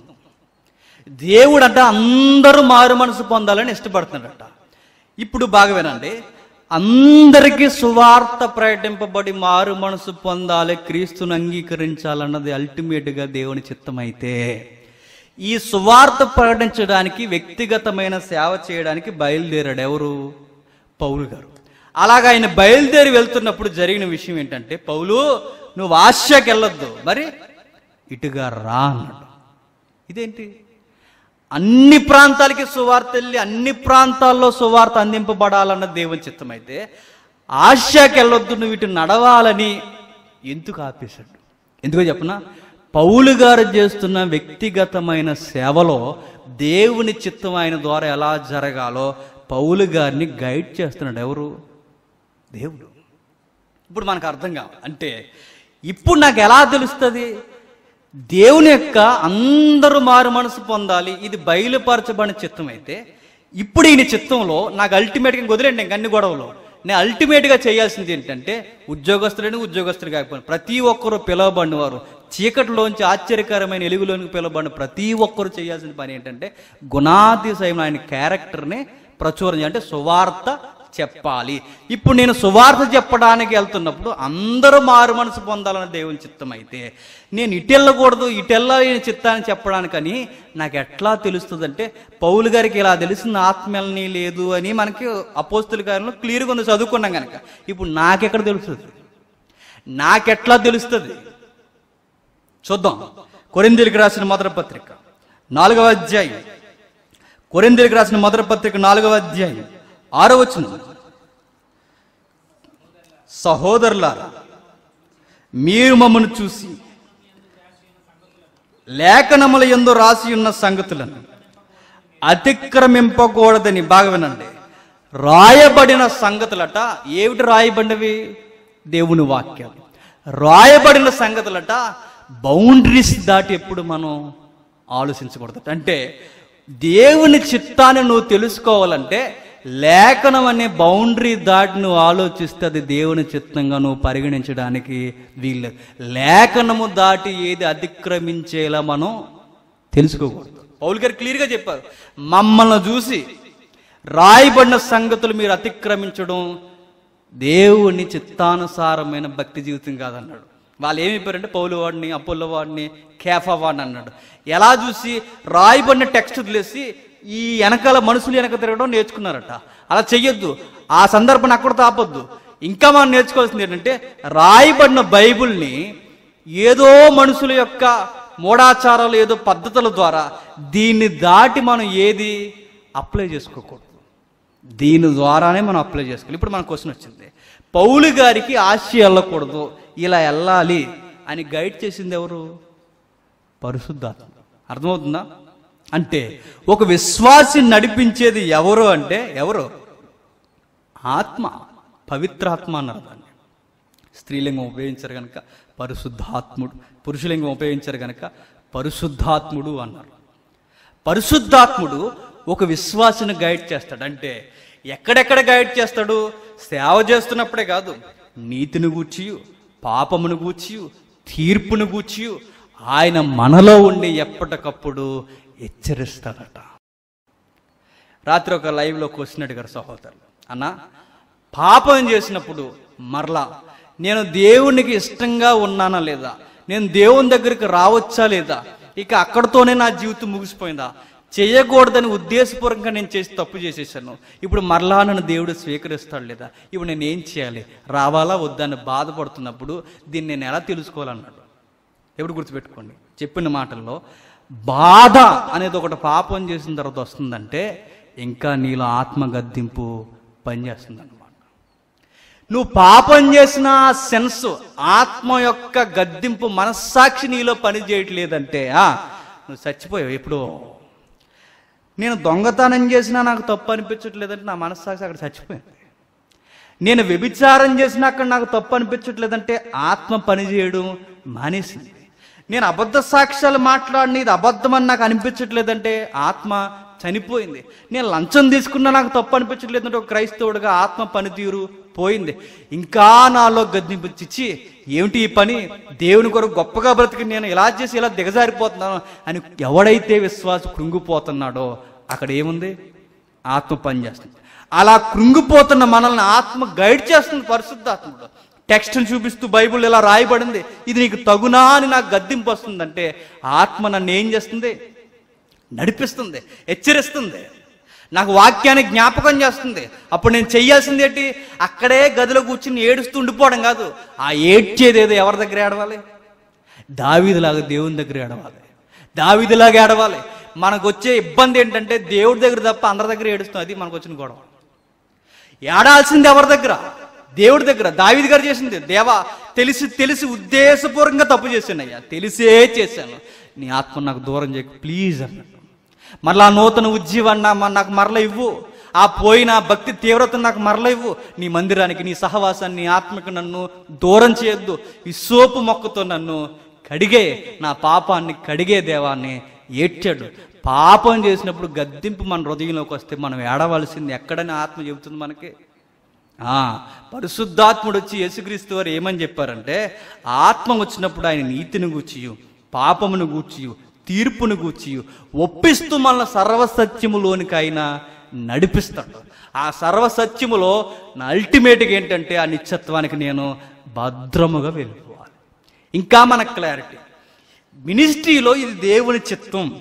సేవలో ఇది దేవుని చిత్తం. ఇది నేను చేయడం దేవుని చిత్తం అని నాకు ఎట్లా తెలుస్తుంది? ఎవరు చెబుతారంటే పరిశుద్ధాత్ముడే చెప్తాడు ఎట్లా? ఆయన ఎలా చెబుతాడు? చూద్దాం. కొరిందులకు రాసిన రెండో పత్రిక. కొరిందులకు రాసిన రెండో పత్రిక తొమ్మిదో వచ్చి ఉండండి రెండో అధ్యాయం తొమ్మిదో వచ్చి ఉండండి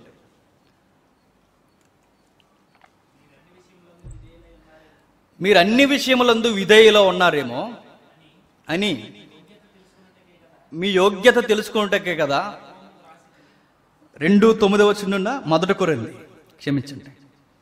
కొరిందులకు రాసిన మొదటి పత్రిక రెండవ అధ్యాయం తొమ్మిదవ వచ్చిండండి ఇందును గూర్చి దేవుడు తన్ను ప్రేమించిన వారి కొరకు ఏమి సిద్ధపరచునో? అవి కంటికి కనబడలేదు చెవికి వినబడలేదు.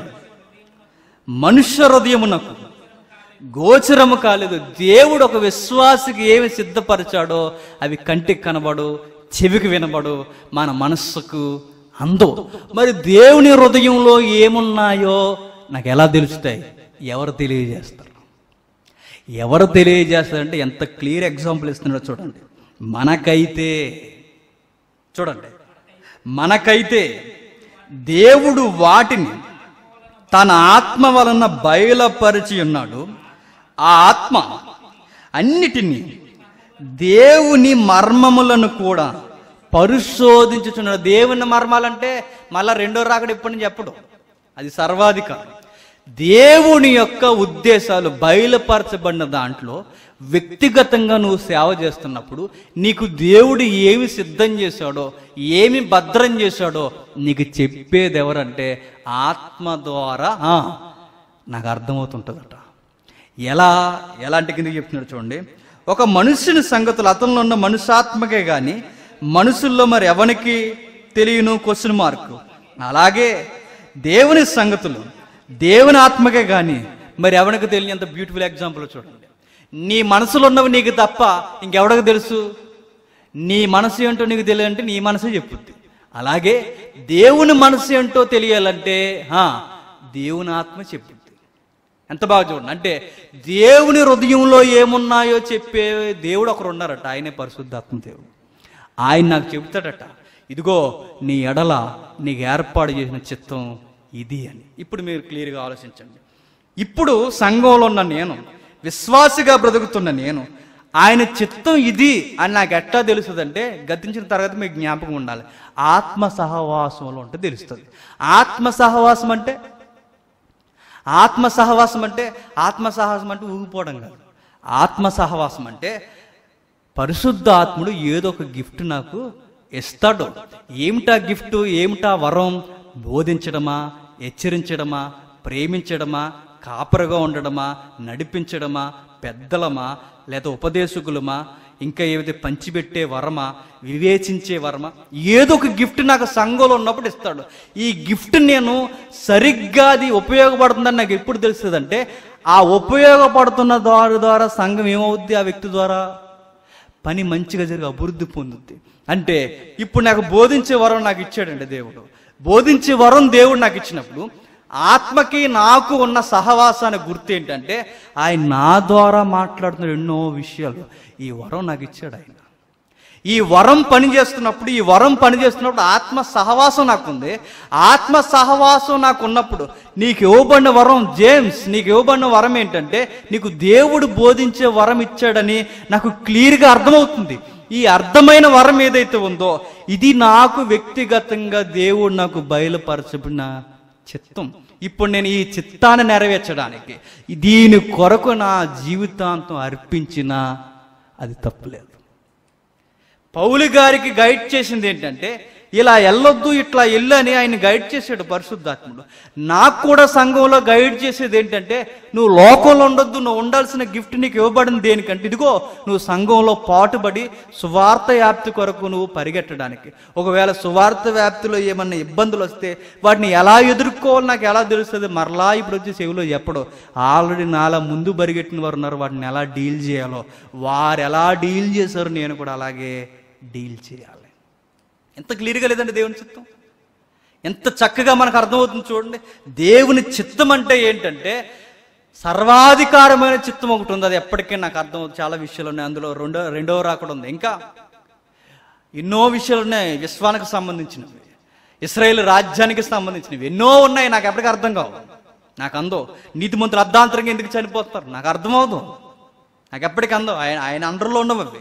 రెండోది ఏంటంటే బయలుపరచబడిన చిత్తం.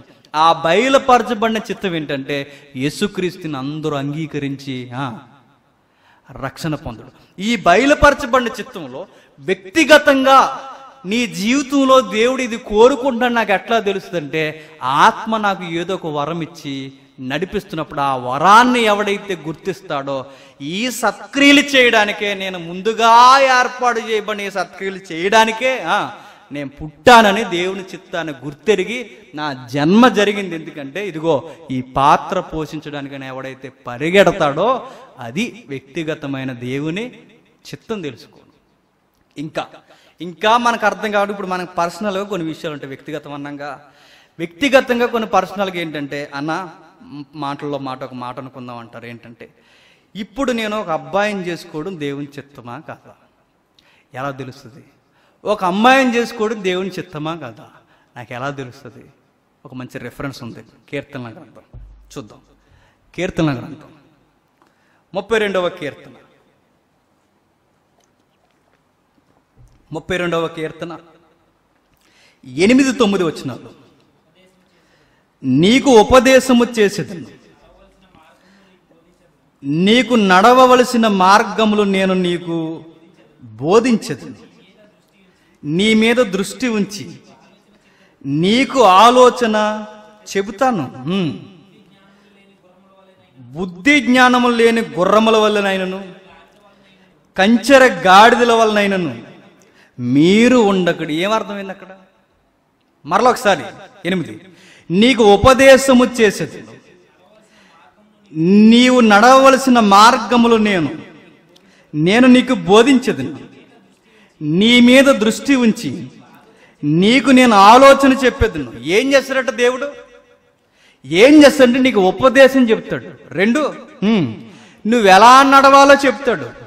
మూడు నీకు ఆలోచన చెబుతాడు ఇన్ని చెప్పిన తిరం లేని గుర్రంలాగా బుద్ధి లేని కంచెరి గాడిదలాగా నువ్వు పోతే నువ్వు చేస్తున్నది ఏంటి చెప్పనా? ఏం చేస్తాం మనం?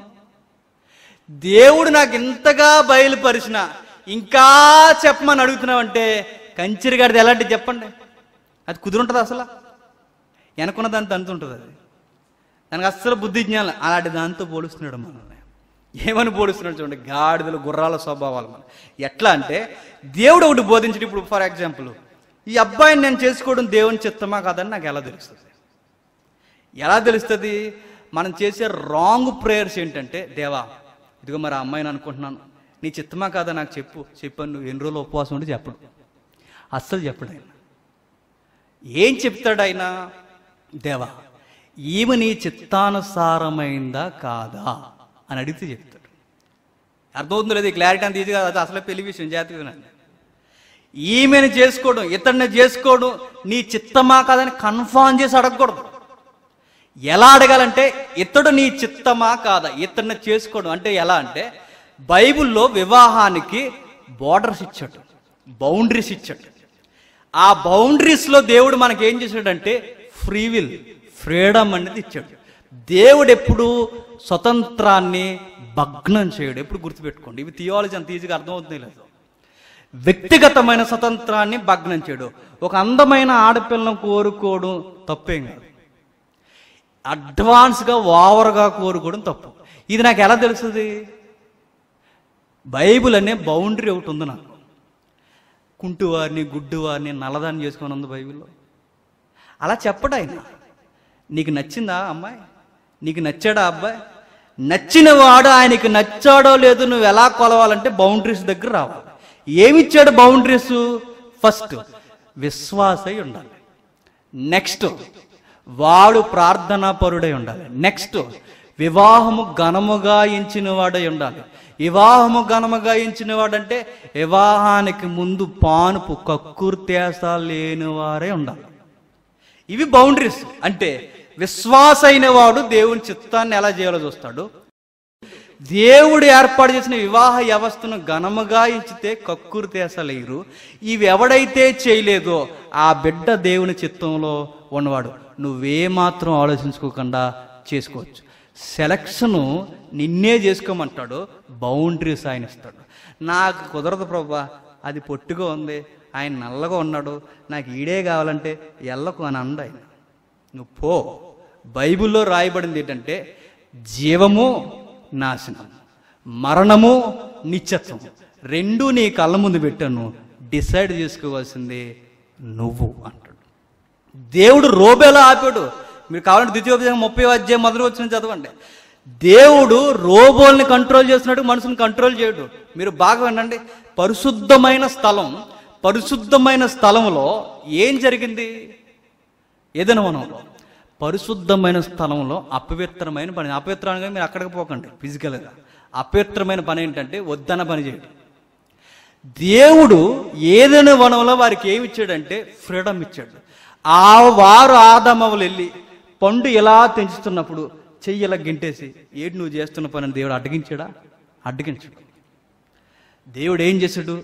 జీవాన్ని మరణాన్ని సత్యాన్ని అబద్ధాన్ని ఆదాముకు రెండు కళ్ళ ముందు పెట్టాడు. డిసైడ్ చేసుకోవాల్సింది నువ్వే అన్నాడు. దేవుడితో వచ్చే గొడవ ఏంటంటే అన్ని కళ్ళ ముందు పెట్టేసి బౌండరీస్ ఇవని చెప్పి ఈ గ్రౌండ్లో ఎలా ఆడుతావు వాడు నేను చూస్తానంటాడు అర్థమైందా? అని అలా చూస్తాడు ఆయన.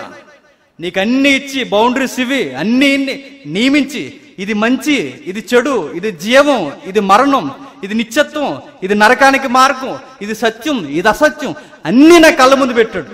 బౌండరీస్ ఇచ్చాడు. ఈ బౌండరీస్లో దేవుని చిత్తం ఏంటి నేను తెలుసుకోవాలి. ఇప్పుడు దేవుని చిత్తం ఏంటో ఒక అబ్బాయిని నేను ఎలా అంచనా వేయాలి? ఇదిగో వివాహము ఘనముగా ఎంచాలి విశ్వాస ఉండాలి ప్రార్థనాపూర్వకంగా ఉన్న అతడు వివాహానికి ముందు ఏ తప్పు చేయని వాడే ఉండాలి ఫిజికల్గా ఇది దేవుడు నియమించిన చిత్తం. ఇప్పుడు అతగాడు నాకు దగ్గర అవ్వాలంటే నేను ఏం చేయాలి? ముందుకెళ్ళిపోయి సినిమాలు వేసినట్టు గాలి అలాగొచ్చేసి ఇటు మెరుపులు వచ్చేసి చేయి చెయ్యి ఇలా తాకిన వెంటనే జుర్రుమని ట్రాన్స్ఫారం పక్కన పేలిపోయి పేలిపోయినా నా దిస్ ఇస్ గాడ్స్ విల్ అని చెప్పదు నీకు. ఆ సినిమా అది. అలా ఉండదు. నేను చేయాల్సింది ఏంటంటే దేవా నీ చిత్తంలో నీ బిడ్డ నాకు రావడం నీ యొక్క సంకల్పం అయితే నాకు దయచేయని ఏం చేయాలి? ప్రార్థన చేయాలి. అప్పుడు ఎత్తుక్కుంటూ వస్తారు. చాలామంది వివరించకుండా. ఏం చేయారంటే వివాహాల కొరకు ప్రార్థనే చేయకూడదు అన్నారు గొడవ లేకుండా. ఇసాకు చేసింది ఏంటి? ఆయనకి సంబంధాలు చూస్తున్నప్పుడు అబ్రహాం గారు అబ్రహాం గారికి ప్రధాన దాసుడికి ఉన్నవారు విశ్వాస కథని ఎదుగుతున్నారు వాళ్ళు. అప్పటికి దృక్కోణం ఏంటి? మా బంధువులంటే మా బంధువులని ఎందుకన్నారు? కులంలో ఉన్నవారిని వంశంలో ఉన్నవారిని చేసుకోమని కాదు. యెహోవాని ఎరిగినవారు. లేదా ఆ వాతావరణంలోనికి రాగలిగినవారు. ఒకవేళ ఆ అండర్లో ఉండి తప్పిపోయి వేరే గాడిలోకి వెళ్తే ఒకవేళ వాళ్ళని తీసుకొచ్చి చేసుకునే అలాంటి అండర్లో ఇదిగో ఈ అన్యుల్లో పిలిస్తీల్లో కానీ మోయాబీల్లో కానీ లేదా అబ్రహాం కాలంలో ఏ జాతిలో కణానీయులు ఎవరో వద్దు. ఇదిగో ఈ హోవా పక్షమున ఏర్పాటు చేయను మా జనాంగంలోనే ఎవరో ఒకరిని చూడమన్నాడు. ఇలా చూడడానికి వారు వెళ్ళి సెలక్షన్ చేస్తున్నప్పుడు ఆయన షరతులు పెట్టుకుంటున్నాడు బౌండరీస్ దేవుడు ఇచ్చిన బౌండరీస్ అప్పటికి వాళ్ళకి. మనస్సాక్షిగా వారు చూసుకోవాల్సిన నీతి విలువలు వాళ్ళకు ఉన్నాయి కాన్షియస్ పనిచేస్తుంది వాళ్ళకి. ఏంటది? ఏమిటంటే ఆ బిడ్డ ఎలాంటిదో చెక్ చేస్తున్నాడు. ఎవరు? మొదటొచ్చిందే మా కోళ్ళం లేదైనా వచ్చే ఆవిడకి ఎలాంటి గుణగణాలు ఉన్నాయో చెక్ చేశాడు. సహాయం చేయగలదు. అవునా? ముక్కు మొహం లేనాడు సహాయం చేయగలదు. ఇంకా మంచి గుణగణాలు కలగలదు ప్రేమించగలదు. అయ్యా మీరు ఏమైనా తిన్నారని అడగగలదు. ఇంకా ఆమెకున్న టెస్ట్ మనీ ఏంటంటే వివాహానికి ముందు ఘనముగా ఇచ్చిన ఆమె ఏ పురుషుణ్ణి ఎరగనుంది. పాన్పు నిష్కల్మకంగా ఉండాలన్నదే ఇప్పటికీ ఆ బిడ్డని ఇచ్చే చక్కగా బతుకుతుంది. ఈ కొలతకు సరిపోతుంది ఎవరు? రెబకా. ఇక్కడ ఇలా సెలక్షన్ జరుగుతున్నప్పుడు ఈ బౌండరీస్లో గొలుస్తున్నప్పుడు ఇసాక్ గారు చేస్తున్నది ఏంటి? నాకెందుకు నేను గాలి తిరుగులు తిరుగుతాను? అన్నాడు ఆయన. ఆయన ఏం చేస్తున్నాడు? గుడారంలోకి వెళ్ళి ధ్యానించుచున్నాను ధ్యానించడం అంటే ప్రార్థిస్తున్నాడు. ఇప్పుడు ప్రధానముగా ఇసాక్ గారికి ఆ టైంలో ఆయనకు ప్రధానంగా ఉన్న విషయం ఏంటి? దేని కొరకు చెప్పండి? వివాహం కొరకు. ఖచ్చితంగా ఆ ప్రార్థనలో ఆయన వివాహం కొరకు ప్రార్థన చేస్తుంటాడా ఉండడా? అది. అంటే ఇప్పుడు మనం చేయాల్సింది ఏంటంటే ఒక వ్యక్తిని నేను చేసుకోవాలా వద్దంటే ఫస్ట్ నేను చూడాల్సింది మా క్యాస్టేనా అని చూడకూడదు. ఈ దరిద్రం ఎంత చెప్పినా పోదు. మా క్యాస్టేనా? నా ఐటేనా? ఇదేనా? అదే అది కాదు మనం చూడాల్సింది. మనం చూడాల్సింది ఏంటంటే విశ్వాస కాదు? ఇప్పుడు ఎవరో వస్తారు బయట నుంచి. నీ మంచితనం చూసి నీకు ఒక కోటి రూపాయలు లక్ష రూపాయలు ఇచ్చి లక్షలు లక్షలు ఇచ్చి నీకు పెళ్ళి చేసేస్తా అంటారు. కాకపోతే అమ్మాయి వర్షాకాలం వచ్చినా నిమజ్ఞానం కాగదు నెక్స్ట్ ఇయర్ చెప్పండి. తర్వాత దసరా కాగదు ఇలాంటివన్నీ ఆకుండా నేను మరి. అలా అన్నదనుకోండి నీ మంచితనాన్ని బట్టి చేసేసుకుంటావా? చేసుకోవద్దు బైబిల్. అక్కడ పర్మిషన్ ఇవ్వలేదు అంటే కొన్ని పర్మిషన్స్ నాకు ఇచ్చింది. ఆ పర్మిషన్లో నేను నడవాలని చెప్పింది. ఇది ఇప్పుడు ఈ వాక్యాన్ని మీరు చదవండి. ఆయన ఏం చేశాడు? నీకు ఉపదేశం చేశాడు. ఎలా చేశాడు? ఈ వాక్యం ద్వారా చేశాడు. నెక్స్ట్ నువ్వు నడవలసిన మార్గాలేంటో నీకు ఆయన ఆల్రెడీ బోధించాడు. నువ్వు నడవలసిన మార్గాలు ఏంటి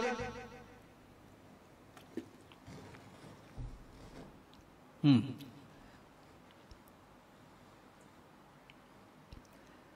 ఓకేనా? చదువు ఒకసారి. కీర్తన ముప్పై రెండవ కీర్తన. ముగించుకుందాం. అమ్మయ్య అనుకుంటున్నారు కదా? వెళ్ళిపోదాం. ముప్పై రెండవ కీర్తన. ముప్పై రెండవ కీర్తన ఎనిమిది తొమ్మిది వచ్చిన hmm. ముప్పై రెండవ కీర్తన ఎనిమిది తొమ్మిది వచ్చినాలు ఉపదేశము చేసేది. నీకు ఉపదేశం ఫర్ ఎగ్జాంపుల్ దీనికి ఒక యంగ్స్టార్ని తీసుకొచ్చి వాకింగ్ దగ్గర పెట్టుకోండి. నీకు ఉపదేశం చేసేది యవనస్తుడిగా నాకు ఆయన ఏం ఉపదేశం చేశాడు బైబిల్లో? దుష్టుల మార్గము నిలవక కుమారుడా అక్రమ సాంగస్యములు చేయక. సామెతలు మాట్లాడాడు. ఇంకా కుమారుడా వేస సాంగస్యమొద్దు. దుర్బలమైన తిరుగులాటలు నీకొద్దు. నువ్వేం చేయాలంటే దివారాత్రులు బైబిల్ చదువుకున్నారు దావిద్దారు నాకు ఎన్నో బోధించింది బైబిల్. ఒక యవనస్తుడు ఎలా ఉండాలంటే యవనేచ్చల నుండి పారిపో అందులో ఇరుక్కుపోకని చెప్పింది. నాకు బోధించలా? ఇది కూడా నాకు చెప్పాలా? చెప్పండి. ప్రభువా నన్ను ఆ పార్టీకి వెళ్ళమంట వద్దంటే ప్రత్యేకం చెప్పాలా? ఆల్రెడీ చెప్పాడు యవనేచ్చల దగ్గర దుర్భరమైన కార్యాలు దుష్టుల దగ్గర ఉండొద్దని. ఇంకా నాకు ప్రత్యేకంగా ఇప్పుడు చెప్పాల్సిన అవసరం ఏమొచ్చింది? ఇది కదా టెక్స్ట్ ద్వారా కొలిసేది. నెక్స్ట్ నీవు నడవలసిన మార్గము నీకు బోధించదును. నాకు నడవలసిన మార్గం బోధించడు. నా పాదాలకు వెలుగేంటి? వాక్యం. నేను ఏ మార్గంలో నడవాలి? వాక్యం. నాకు బౌండరీ ఏంటి? వాక్యం. నేను ఏ పని చేసిన దాటి పోకూడదని నాకు నేర్పిస్తుంది. అది వివాహమా ఉద్యోగమా ఏదైనా. నీ మీద నేను దృష్టించి నీకు ఆలోచన చెప్పేదాను. ఎలా చెప్తాడు ఆలోచన? ఎవరో ఒక ఉపదేశకుడి ద్వారా నీ వాక్యం ద్వారానో. ఎవరో ఒక సంఘ పెద్దల ద్వారానో సీనియర్ విశ్వాసుల ద్వారానో అరే ఇది మంచిది కదరా బైబిల్ ఎలా చెప్తుంది మనం చేయడానికి సరిపోమని ఆలోచన చెప్పడు దేవుడు. ఇంకా నా సేవలో చెప్పలవచ్చు చెప్పడా? ఆలోచన చెప్పడా? పో నీకే ఆలోచన రాదు ఆత్మ గద్దింపవుదా నీకు ఆలోచన. ఈ తప్పు ఇలా చేయకూడదు నీకు తగదన్న ఇవన్నీ కాదని నువ్వు చేసి పాతికేళ్ళు నా ఇష్టానుసారంగా తిరిగేసి పెళ్ళి వచ్చేసరికి అక్కడ కూర్చొని ప్రభా నీ చిత్తం ఏంటి? ఎవరినో చూపించు. సమంత నా ఐశ్వర్యాన్ని ఎవరు చూపిస్తారు? జరుగుద్దా? నువ్వు పాతికేళ్ళు దేవుని చిత్తం నెరవేర్చకుండా పాతికేళ్ళు అనే చిత్తం ఏంటో తెలుసుకోకుండా పెళ్ళనే విషయం వచ్చేసరికి నాకు కలలో చూపించు ఏదో గుర్తు చూపించంటే ఎలా చూపిస్తాడు? ముందు నువ్వు నడిస్తే కదా ఆయన మార్గాల్లో. నువ్వు ఆయన మార్గాల్లో నడిస్తే నీకు క్లియర్గా అని చెబుతాడు. ఎస్ నువ్వు వెళ్ళని ఒకవేళ అది అయితే కూడా మనకు తెలుస్తుంటుంది. ఎట్లా? నాకు బౌండరీస్ ద్వారానే అర్థమవుతుంటుంది. కరెక్ట్ కాదు కరెక్ట్ కాదు. ఎందుకు? ఆ వ్యక్తిని నేను చూస్తున్నప్పుడు వాక్యానుసారంగా లేదు ఈ కుటుంబం. వాక్యానుసారంగా లేరు ఈ వ్యక్తులని నాకు అర్థమవుతుంటుంది. ఆ లేని హెచ్చరిక నాకు కనబడుతున్నప్పుడు నువ్వు రాంగ్ వేలోకి వెళ్తున్నావని దేవుడు నాకు చెబుతాడు. అప్పుడు డిసైడ్ చేసుకోవాల్సింది నేను. వెళ్ళాలా వద్దా? ఎలనా వద్దా? డిసైడ్ చేసుకోవాల్సింది నువ్వే. ఆయన చేయబట్టుకుని వెనక్కేమి లాగడు. పండు తెంచుతున్నప్పుడు తెంచుతున్నాడని పరలోక అధికారులు ఉన్న ఆయనకి కనబడదా? కనబడదు. ఎందుకు ఆపలేదు? మనుషుల స్వతంత్రాన్ని పాపం చేస్తున్నప్పుడు కూడా ఆయన అడ్డగించడు. ఎంత దేవుడు ప్రేమించాడంటే ఎంత స్వతంత్రం ఇచ్చాడంటే మనకి దేవుడ స్థానాన్ని ఆక్రమించి దేవుణ్ణి తిట్టాలనుకునేంత స్వతంత్రం దేవుడు మనిషికి ఇచ్చేసాడు ఆ రోజు ఏదైనా వరంలో దేవుడు ఎంత స్వాతంత్రాన్ని వాళ్ళకి ఇచ్చాడంటే దేవుళ్ళు అయిపోవాలనుకున్నారట ఎవరు? అవ్వాదములు. ఈరోజు మనిషికి ఎంత స్వతంత్రం ఇచ్చాడంటే ఉన్నావా? ఉంటే ఏమైపోయాడు? ఈ కరోనాలో మీ దేవుడు ఏమైపోయాడు? ఇంత అడ్డగోలు వాగుడు వాగుతున్నా దేవుడు ఏమి లేదంటే కారణం ఏంటి చెప్పనా? స్వతంత్రం ఇచ్చాడు మనిషికి. ఆయన చిత్తం ఏంటో ఎప్పటికీ ఎవడికి తెలియదు ఆయన చిత్తం ఆయన చట్టం అలా నడిచిపోతూ ఉంటుంది. గ్రహించే విశ్వాసం మాత్రం విజన్ ఒకటే. అల్టిమేట్గా వెళ్ళిపోవాల్సింది ఆ పౌరసత్వంలో నేను నిలబడాలి. నేను దత్తపుత్రుడిగా నేను స్వీకరింపబడ్డాను. నేను వెళ్ళవలసింది ఇదే అని. చూద్దాం సంఖ్యాకాండం. ఒకసారి చూద్దాం. ఊహించుకుందాం. సంఖ్యాకాండ ముప్పై అధ్యాయం చివరిగా. సంఖ్యాకాండ ముప్పై అధ్యాయం మొదటి వచ్చును సంఖ్యాకాండ ముప్పై అధ్యాయం మొదటి వచ్చును క్షమించండి. ద్వితీయోపదేశకాండ ముప్పై అధ్యాయం మొదటి వచ్చును నేను నీకు వినిపించిన. దీవెన. శాపము. నీ మీదకి వచ్చిన తర్వాత. నీ దేవుడైన యహోవా. నిన్ను వెళ్ళగొట్టించిన సమస్త జనముల నుండి. జనముల మధ్యను వాటిని జ్ఞాపకము చేసుకుని వేటిని జ్ఞాపకం చేసుకుని? నీ ముందు దీవెన పెట్టాను నీ ముందు శాపం పెట్టాను. ఇదిగో నేను నీకు ఎప్పుడు ఇచ్చే సజెషన్ ఏంటంటే ఇలా వెళితే నీకు మంచిగా ఉంటుంది దారి. అది కష్టాలున్నా కన్నీళ్ళున్నా. ఇలా వెళ్తే నీకు సేదుగా ఉన్నా నువ్వు ఇలా వెళ్ళు. నాస్తో నీకు తోడుంటుందని చెప్తాడు ఆయన. లేదు నాకు ఇదే తీపుగా కనబడుతుందంటే నీ ఇష్టం. ఎల్లు అది శాపం. ఈ రెండు నాకు చూపిస్తాడు. ఇస్రాయేల్కి ఏం చెప్పాడు ఆయన ఓపెన్గా చెప్పాడు బెదిరించాడు అన్నారు చాలా మంది యహో దేవుడట బెదిరించాడని చెప్పారు పాత బెదిరించడం కాదు. ఆయన ఆలోచన సలహా ఇచ్చాడు. ఇదిగో ఇటు పోతే నాశనం అయిపోతారు. ఇటు వచ్చి నా ఆజ్ఞల్లో నడిస్తే దీవింపబడతారు. మీ పంట పొలములు మీ ఉద్యోగములు మీ పిల్లలు దీవెనగా నాలో ఉండాలనుకుంటే నా యొక్క అండర్లో కష్టాలను కూడా విజయంతో మీరు సాధించాలనుకుంటే నా ధర్మశాస్త్రంలో రాయబడింది ఉల్లంఘన చేయకుండా ఈ జీవ మార్గానికి రండి. ఇది దీవెని మీకు. లేదు మేము అలాగే పోతామంటే అలా పండదు మీకు శాపమని రెండూ చెప్పాడు. తప్పు చేస్తున్న ఇస్రాయల్ని ఎప్పుడైనా ఆపలేదు. తప్పు చేస్తున్నారు ఎప్పుడు దగ్గరున్న ఆయన ఆపడం. డిసైడ్ చేసుకోవడానికి రెండూ నాకు వినిపిస్తాడు. కావాలంటే చూడండి దేవుడిచ్చిన గొప్ప వరం ఏంటంటే మనస్సాక్షి. ఆ మనస్సాక్షి ఎప్పుడు నాకు చెప్తుంటుంది ఒక తప్పు చేస్తున్నప్పుడు రే ఇది తప్పురా ఇది తప్పురా అని. ఇక్కడ కూడా నాకు గద్దిస్తుంటాడు. ఇన్ని బౌండరీస్ ఇచ్చి ఇంతగా నాకు ఓపెన్ చేసి ఇంతగా నన్ను నడిపించే ఆత్మ సహాయాన్ని ఆత్మనే నాకు గిఫ్ట్కి ఇచ్చి ఆత్మ ద్వారా ఒక వరం ఇచ్చి నాకు నడిపిస్తుంటే ఇంకా నాకు దేవుడు వచ్చి వ్యక్తిగతంగా నాకు ఏం చెప్పాలి చెప్పు. ఇప్పుడు ఒక ఉద్యోగం చేయాలనుకోండి ఈ ఉద్యోగం దేవుడికి ఇష్టమా కాదని నేను ఎలా కొలవాలి? ఆ ఉద్యోగంలో బ్రాందికాయల బ్రాందికాయల మీ ఉద్యోగం అనుకోండి. దేవుని చిత్తం అది? ప్రత్యేకంగా దేవుడు చెప్పాలి? ఎవరే అబ్బాయి ఇల్లు ఆ బ్రాందికాయలు అమ్మేది నా చిత్తమా కాదని ఆయన చెప్తాడు వచ్చి. చెప్పడు. లెక్కర అమ్మేస్తారు సారా అమ్మేస్తారు. ఇవన్నీ అమ్మేస్తున్నప్పుడు ఇది దేవుని చిత్తమా కాదని దాన్ని ఎలా కొలుస్తావు నువ్వు? అది ఉద్యోగమే. పనే. దాన్ని ఎలా కొలుస్తావు? అక్రమ వ్యాపారం అక్రమమైన అబద్ధ సంపద దేవునికి ఇష్టానుసారమైనది కదని బయలుపరచబడింది బైబిల్లో. ఇది చెప్పాలా దేవుడు వచ్చి మరలా? దేవుడు చెప్పాడుగా ఈ ఉద్యోగంలో దేవునికి అనుకూలమైన వాతావరణం ఉందా లేదా? నేను ఉండగలనా లేనా? ఉండగలనా లేనా నువ్వు దేంతో కొలుసుకోవాలి?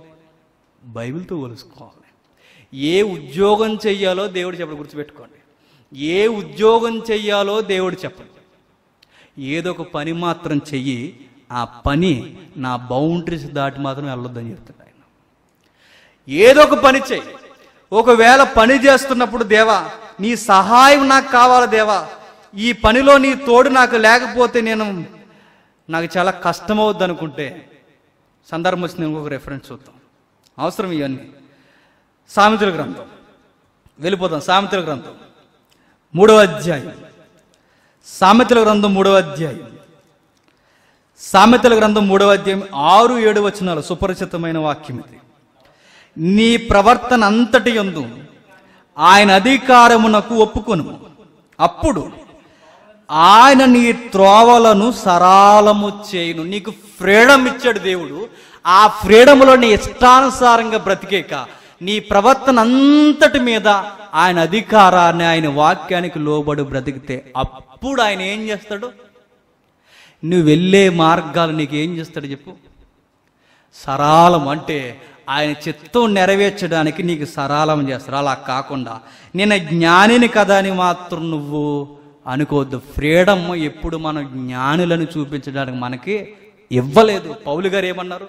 అన్నీ చేయడానికి స్వతంత్రం కలదు కానీ అన్నీ చేయదగినవి కావు. ఎందుకో అని అడిగితే పౌలు ఏమంటాడు చెప్పిన? ఆయన అధికారాన్ని దాటి నేను కొన్ని చేయలేను. ఆయనకి నేను లోబడుతున్నాను కనుక ఆయన అధికారాన్ని పూర్తిగా నేను ఒప్పుకుంటున్నాను కనుక ఆయన నన్ను ఆయన మార్గాల గుండా నన్ను నడిపించుకుంటాడు ఆయన. దేవుడు మనల్ని నడిపిస్తాడంటే నడిపిస్తాడు. ముగించిన తరగతుల్లో చివరి వాక్య భాగం ఎంతమంది గుర్తుందో? మొదట ఆయన రాజ్యాన్ని నీతిని వెతకండి. అప్పుడు అప్పుడు నీ తినే తిండి విషయంలో కట్టుకునే బట్ట విషయంలో చేసుకునే పెళ్ళి విషయంలో ఉద్యోగం విషయంలో ఆయన అధికారాన్ని నువ్వు ఒప్పుకుంటే రేపేం జరగాల ఆయన చూసుకుంటాడు. ముందు ఆయన నీతికి లోబడాలి. ఆయన చిత్తం ఏంటో తెలుసుకోవాలి. నా జీవితంలో ఆయన చిత్తం ఏంటో గ్రహించుకోవాలి. ఇప్పుడు నాకు అర్థమైపోతే మీరు గుర్తుపెట్టుకోండి. నేను ఉద్యోగం చేసిన. మీకు అర్థమవుతుందా? నేను కూలి పని చేసిన. నేను ఏ పని చేసినా. నేను మిస్ అవ్వకూడదు ఏంటో చెప్పనా? చీకటిలో నుండి ఆశ్చర్యకరమైన ఎలుగులోకి వచ్చిన నేను ఆయన గుణాన్ని ప్రకటన చేయాలి. నేను మిస్ అవ్వకుండా చేయాల్సింది ఏంటంటే సువార్త ప్రకటన నేను చేయాలి. ఏ పని చేసినా నేను విడవకూడనిది ఏంటి చెప్పండి? సువార్త వ్యాప్తికి నేను పాటుపడాలి. మనం ఎక్కడ సువార్త చేయంగానే చెప్పండి. ఏ ఉద్యోగం ఇస్తా ప్రభు అని మాత్రం అడుగుతాం మనం. సువార్త పక్కకు దోసేస్తాం కానీ పనిలో రెండు వేల రూపాయల రోజుకి ఎక్కడ చెప్పు ప్రభు అంటాం మనం. సువార్త పక్కకు తోసేసి పని కోసం అడుగుతాం మనం. ఇది సబవా చెప్పండి. కాదు నువ్వు ఏదో పని చేయి. పని చేయని వాడు రొట్టె తినడానికి అర్హత లేదు. ఏదో ఒక పని చేయి.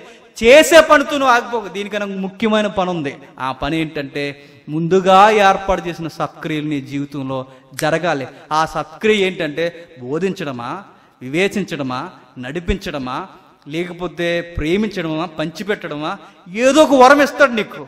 ఆ చిత్తాన్ని సత్క్రియలో నువ్వు నెరవేర్చాలి. ఇవి దేవుని చిత్తాలంటే. ఇంత దేవుని చిత్తం ఇంత బాహటంగా బయలుపరచబడిన ఇంకా ఈ సొంత ప్రాక్టీసెస్ క్రిస్టియన్లోకి వచ్చేసి ఏవేవో మూడ మోస పద్ధతులు అవలంబిస్తున్నారంటే ఇది ఆరోగ్యకరమైన భక్తి జీవితమా చెప్పండి. హెల్దీ వాతావరణం కాదు అది భక్తి జీవితానికి. నాకు తెలిసిపోయింది ఓపెన్ అయిపోయింది దేవుని చిత్తం. ఏంటి దేవుని చిత్తం ఓపెన్ అయిందంటే పాపాన్ని వదిలించుకొని నిత్యత్వానికి వెళ్ళాలంటే మార్గం ఎవరన్నది నాకు ఓపెన్ అయిపోయింది నాకు ఇంతవరకు బయలుపరిచాడు. ఇది నేను తెలుసుకున్న అల్టిమేట్గా వెళ్ళిపోవాల్సింది ఆయన నియమించిన చిత్తాన్ని నెరవేర్చుకుంటూ వెళ్ళిపోవాలి ఏదో ఒక పని బతకడానికి చేసుకుంటూ. ఇది నేను చేయాల్సింది. ఇది పక్కకు జరిగిపోయి ఈ మధ్య కొంతమంది బోధకులు ఏం చేస్తున్నారంటే రెండో రాకడ ఎప్పుడన్నా అడుగుతున్నారు. ఇది ఆయన అధికారంలో ఉన్నది ఎప్పుడైనా తెలుస్తుందా తెలీదు. ఆయన ఎందుకు చనిపోయాడని అడుగుతారు ఒక ఆయన దర్శనం వచ్చిందంటే ఆ బిడ్డ ఎందుకు చనిపోయాడంటే వస్తాయి అలాంటివి? ఆయన అండర్లో ఉన్నవి ఎప్పటికీ తెలియవు. అది ఆయన చిత్తం. మీరు బైబిల్లో కొన్ని క్యారెక్టర్స్ చూడండి. సడన్గా ఇంతకాలం ముగిసిపోయాడు. ఉంటే బాగుండు కదా అనిపిస్తుంది. అది ఆయన చిత్తం మనకి తెలియదు. దేవుని చిత్తంలో ఒక రెండు పద్ధతులు ఉన్నాయి. అవి ముగించుకుని వెళ్ళిపోదాం. ఏమిటంటే ఎపిసీలకు రాసిన పత్రిక క్షమించండి. పేతురు రాసిన మొదటి పత్రిక. పేతురు రాసిన మొదటి పత్రిక. ముగించుకుందాం. ఈ సన్నటి తీగకి రెఫరెన్స్ చాలా అవసరం. ఏమిటి ఆ సన్నటి తీగ అంటే? మరలా మీకు జ్ఞాపకం చేస్తున్నాను. దేవుని చిత్తం అనగానే మంచిగానే ఉంటాయి అనుకోకండి. కష్టాల కన్నీళ్ళు కూడా ఉంటాయి. అనడానికి ప్రతి ఒక్కరూ అది టచ్ చేసి వెళ్ళాలట. అది దేవుని చిత్తం. అంటే శ్రమ లేకుండా దేవుని చిత్తం ఉండదు అని పెద్ద ఆయన పేతురు గారు తేల్చేసాడు ఆయన. చూడండి ఒకసారి. పేతురు రాసిన మొదటి పత్రిక. రెండవ అధ్యాయం పద్దెనిమిది వచ్చిందండి పేతురు రాసిన మొదటి పత్రిక రెండవ అధ్యాయం పద్దెనిమిది వచ్చిందండి పనివారులారా. పనివారులారా అంటే ఎవరు? ఎంప్లాయీస్. ఏదో ఒక ఉద్యోగం చేస్తున్నవారు ఉద్యోగస్తులారా. మంచివారును సాత్వికులైన వారికి మాత్రమే కాక ముస్కర్లైన మీ యజమానులకును మీరు పూర్ణ భయముతో లోబడి ఉండు ఎవడైనను అన్యాయముగా శ్రమ పొందుతూ దేవుని గూర్చిన మనస్సాక్షి కలిగి దుఃఖము సహించిన యెడల అది ఇతమగును. తప్పిదమునకే దెబ్బలు తినినప్పుడు మీరు సహించిన ఎడల మీకు ఏమి గనము మేలిచ్చేసి బాధపడినప్పుడు మీరు సహించిన ఎడల అది దేవునికి ఇతమగును. ఇందుకు మీరు పిలువబడుతుంది పిలువబడిన వారు ఎవరు క్రైస్తవులందరూ. పిలువబడిన వారందరికీ ఏ పని చేసినా అది ఉద్యోగమైన ఏదైనా చెబుతున్నాడు. మీ పైనున్న సుపీరియర్ ఆఫీసర్ మిమ్మల్ని కష్టపెడితే ఆ టైంలో నువ్వు ఎలా వ్యవహరించాలో దేవుడు వచ్చి మళ్ళీ సెవిలో మనకి చెప్పడు రాసేసాడు ఏమని? పైన పైనున్నవాడు ముస్కరుడైతే మంచివాడు కాకపోతే మంచివాడికే కాదు నువ్వు లోబడడం. మంచివాడు కానివాడు కూడా నువ్వు లోబడాలి. ఇంటికే మనం క్రైస్తవులుగా పిలువబడ్డామట. మంచికే నువ్వు మేలు వ్యక్తిగా నిలబడ్డం కాదు. నువ్వు మంచి చేసి నువ్వు తన్నించుకున్నా అది దేవునికి ఇతమవును ఒక్క మాటలో క్రైస్తువుల కోసం చెప్పనా మన ముఖం మీద ఉమ్మేయించుకోవడానికే పిలువబడ్డాం. మంచి చేసి బాగా గుర్తుపెట్టుకోండి. క్రైస్తవం అంటే ఏంటి చెప్పిన మంచి చేసి మంచి అంతా చేసిన తర్వాత మనకు వచ్చే సర్టిఫికేట్ ఏంటి చెప్పిన కాంట్రాక్ట్ ఇచ్చి ముఖం మీద వస్తారు. నువ్వు ఇందుకే పిలవబడ్డాడు మంచి చేసి మంచి సాక్ష్యం పొందడం కాదు మంచి చేసి చెడ్డ సాక్ష్యం కూడా పొందడం ఈ దేవునికి ఇష్టం. ఇది ఎలా ప్రభు నాకు ఇంకా అర్థం కావట్లేదు అంటే కిందకు ఒక ఎగ్జాంపుల్గా నాకు ఒక వ్యక్తిని చూపిస్తున్నాడు. ఎవరిని? క్రీస్తు కూడా. మీ కొరకు బాధపడి మీరు తన అడుగు జాడలేందు నడుచుకున్నట్లు మీకు మాదిరి ఉంచిపోయాను. ఆయన పాపము చేయలేదు. ఆయన నోట ఏ కపటం లేదు. క్రీస్తు మనకి ఉంచాడట?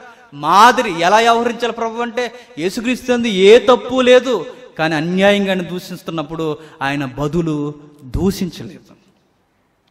అన్యాయంగా అధికారులు ఆయన మీద నిజానికి అధికారి ఎవరు? ఆయన. అధికారి ఆయన ఆయన లోబడ్డాడు ఎందుకు? దేవుని చిత్తం నెరవేర్చడానికి. ఆయన లోబడని మంచి చేసిన ఆయనకి కీడు తలంచుతున్న న్యాయముగా తీర్చి తీర్పు తీర్చి దేవునికి ఆయన అప్పగించుకున్నాడు తప్ప పల్లెత్తు ఒక్క మాట నోట కూడా ఆయనంట రాలేదట. ఇది చెబుతూ కిందకు వచ్చేసరికి ఫ్యామిలీస్కి చెప్తాడు ఏమని? అటువలే స్త్రీలరా అంట. మీరు కూడా మీరు కూడా అటువలే అంటే ఇప్పుడు ఫ్యామిలీస్ కూడా చెప్తున్నాడు ఎలా రన్ చేయాలో దేవుని చిత్తం. ఎలా? యేసుక్రీస్తు వారికి అన్యాయం జరిగిపోతున్నప్పుడు కూడా ఆయన మాట్లాడలేదు. ఒక ఇల్లాలుగా నీ తప్పు లేకపోతే నీకు అన్యాయం జరిగిపోతుంటే నువ్వేం మాట్లాడు కానీ మనం ఏం చేస్తాం పప్పు చేతులు అయిపోతారు ఎలా? ఏదైనా గొడవ జరిగిందనికి తయ్యి బొబ్బరగడ్డని ఎక్కడికి వచ్చేస్తారు చెప్పండి? ఇదిలోకి క్రైస్తవులే ఇదిలో పెద్ద గొడవ పెట్టేస్తారు. కానీ క్రైస్తవ స్త్రీకి బైబిల్ చెప్తున్నది ఏంటి? నీకు అన్యాయం జరగచ్చు నీకు అక్రమం జరగచ్చు నువ్వేం చేయకూడదు? నోరెప్పుకో. ఎందుకు? అని అడిగితే నీ ప్రభువు కూడా నోరు విప్పలేదు. ఆయన అడుగు జాడలో నువ్వు నడిచిపో. స్త్రీలకే కాదు పురుషులకు కూడా చెప్పాడు ఏడవచ్చిందో అటువలే పురుషులారా మీరు కూడా ఆయనతో ఆయన ఎలా అయితే నడిచాడో. నీకు అన్యాయం జరగచ్చు నీ అత్తమమ్మల్ని బాధ పెట్టవచ్చు అన్నీ జరగచ్చు. నువ్వు నోరెప్పుకో. దేవునికే చెప్పుకో. నీ సాక్ష్యం నువ్వు కాపాడుకో. ఇన్ని కోణాల్లో దేవుని చిత్తం నాకు బయలుపరచబడితే ఇంకా సొంత ప్రాక్టీసులు నాకు అవసరమా? అల్టిమేట్గా నేను నేర్చుకోవాల్సింది ఏంటంటే పిలువబడిన నేను కష్టాలు తప్పవని మాత్రం బైబిల్ నాకు చెప్పింది. క్రీస్తుకి ఎలా అయితే ఇబ్బందులు వచ్చాయో పిలువబడి నీకు కూడా ఇబ్బందులు వస్తాయి.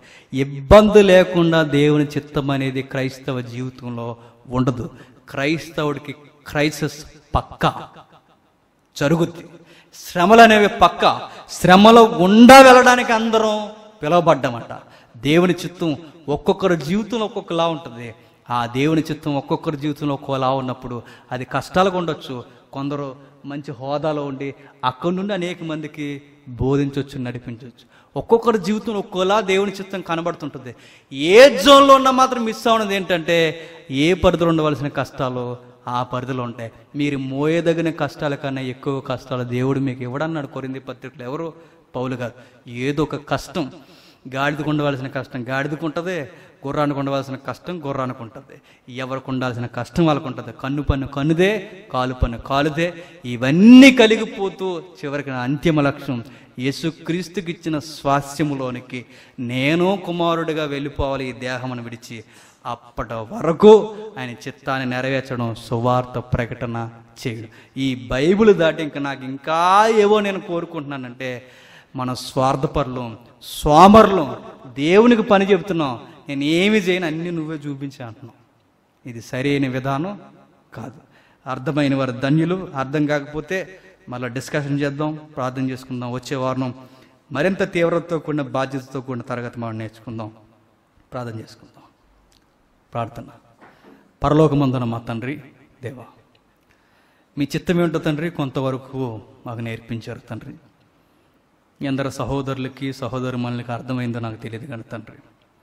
మూఢ పద్ధతిలో మూఢాచారాల నుండి తండ్రి ఈ భక్తి ముసుగులో నుండి కొందరు లేవనెత్తండి. ఆరోగ్యకరమైన భక్తిలోనికి నడిపించండి. ఆ భక్తిలో ఉన్న శక్తిని ఏంటో తెలుసుకునే భాగ్యమును అనుగ్రహించండి తండ్రి. మీ చిత్తం వారి ఎడల ఏమై ఉందో పరిశుద్ధాత్ముడు ఏ వరం ఇచ్చి నడిపిస్తున్నాడో స్పష్టంగా చూడగలిగే దృష్టి అనుగ్రహించండి. అపార్థాలకు పోక తండ్రి. వాక్యపు పరిధిలో ప్రతి విషయాన్ని మేము జోడించుకుని నడవడానికి. అది మా వ్యక్తిగతమైన సేవ అయినా తండ్రి వివాహ వ్యవస్థ అయినా ఉద్యోగమైనా ఏదైనా తండ్రి మీరు మాకు ఏదైతే నియమించారో అది మీ బైబిల్ యొక్క కనుసన్నల్లో మా పాదాలకు దీపంగా పెట్టుకొని నడవడానికి మాతో మీరు మాట్లాడారని మేము నమ్ముతున్నాం తండ్రి. విన్న వారందరినీ దీవించండి. మీ చేతులకు అప్పగిస్తూ సమస్త మహిమ ఘనత మీకే ఆరోపిస్తూ మీ చిత్తమైతే మరొకసారి మేము కలిసి విస్తరించి అనేక బాధ్యతతో కూడిన వర్తమానాలు మేము నేర్చుకోవడానికి సహోదరులైన మా అందరినీ కలిపి నడిపిస్తారని అర్థిస్తూ క్రీస్తునామని సమర్పిస్తున్నాము తండ్రి. ఆమె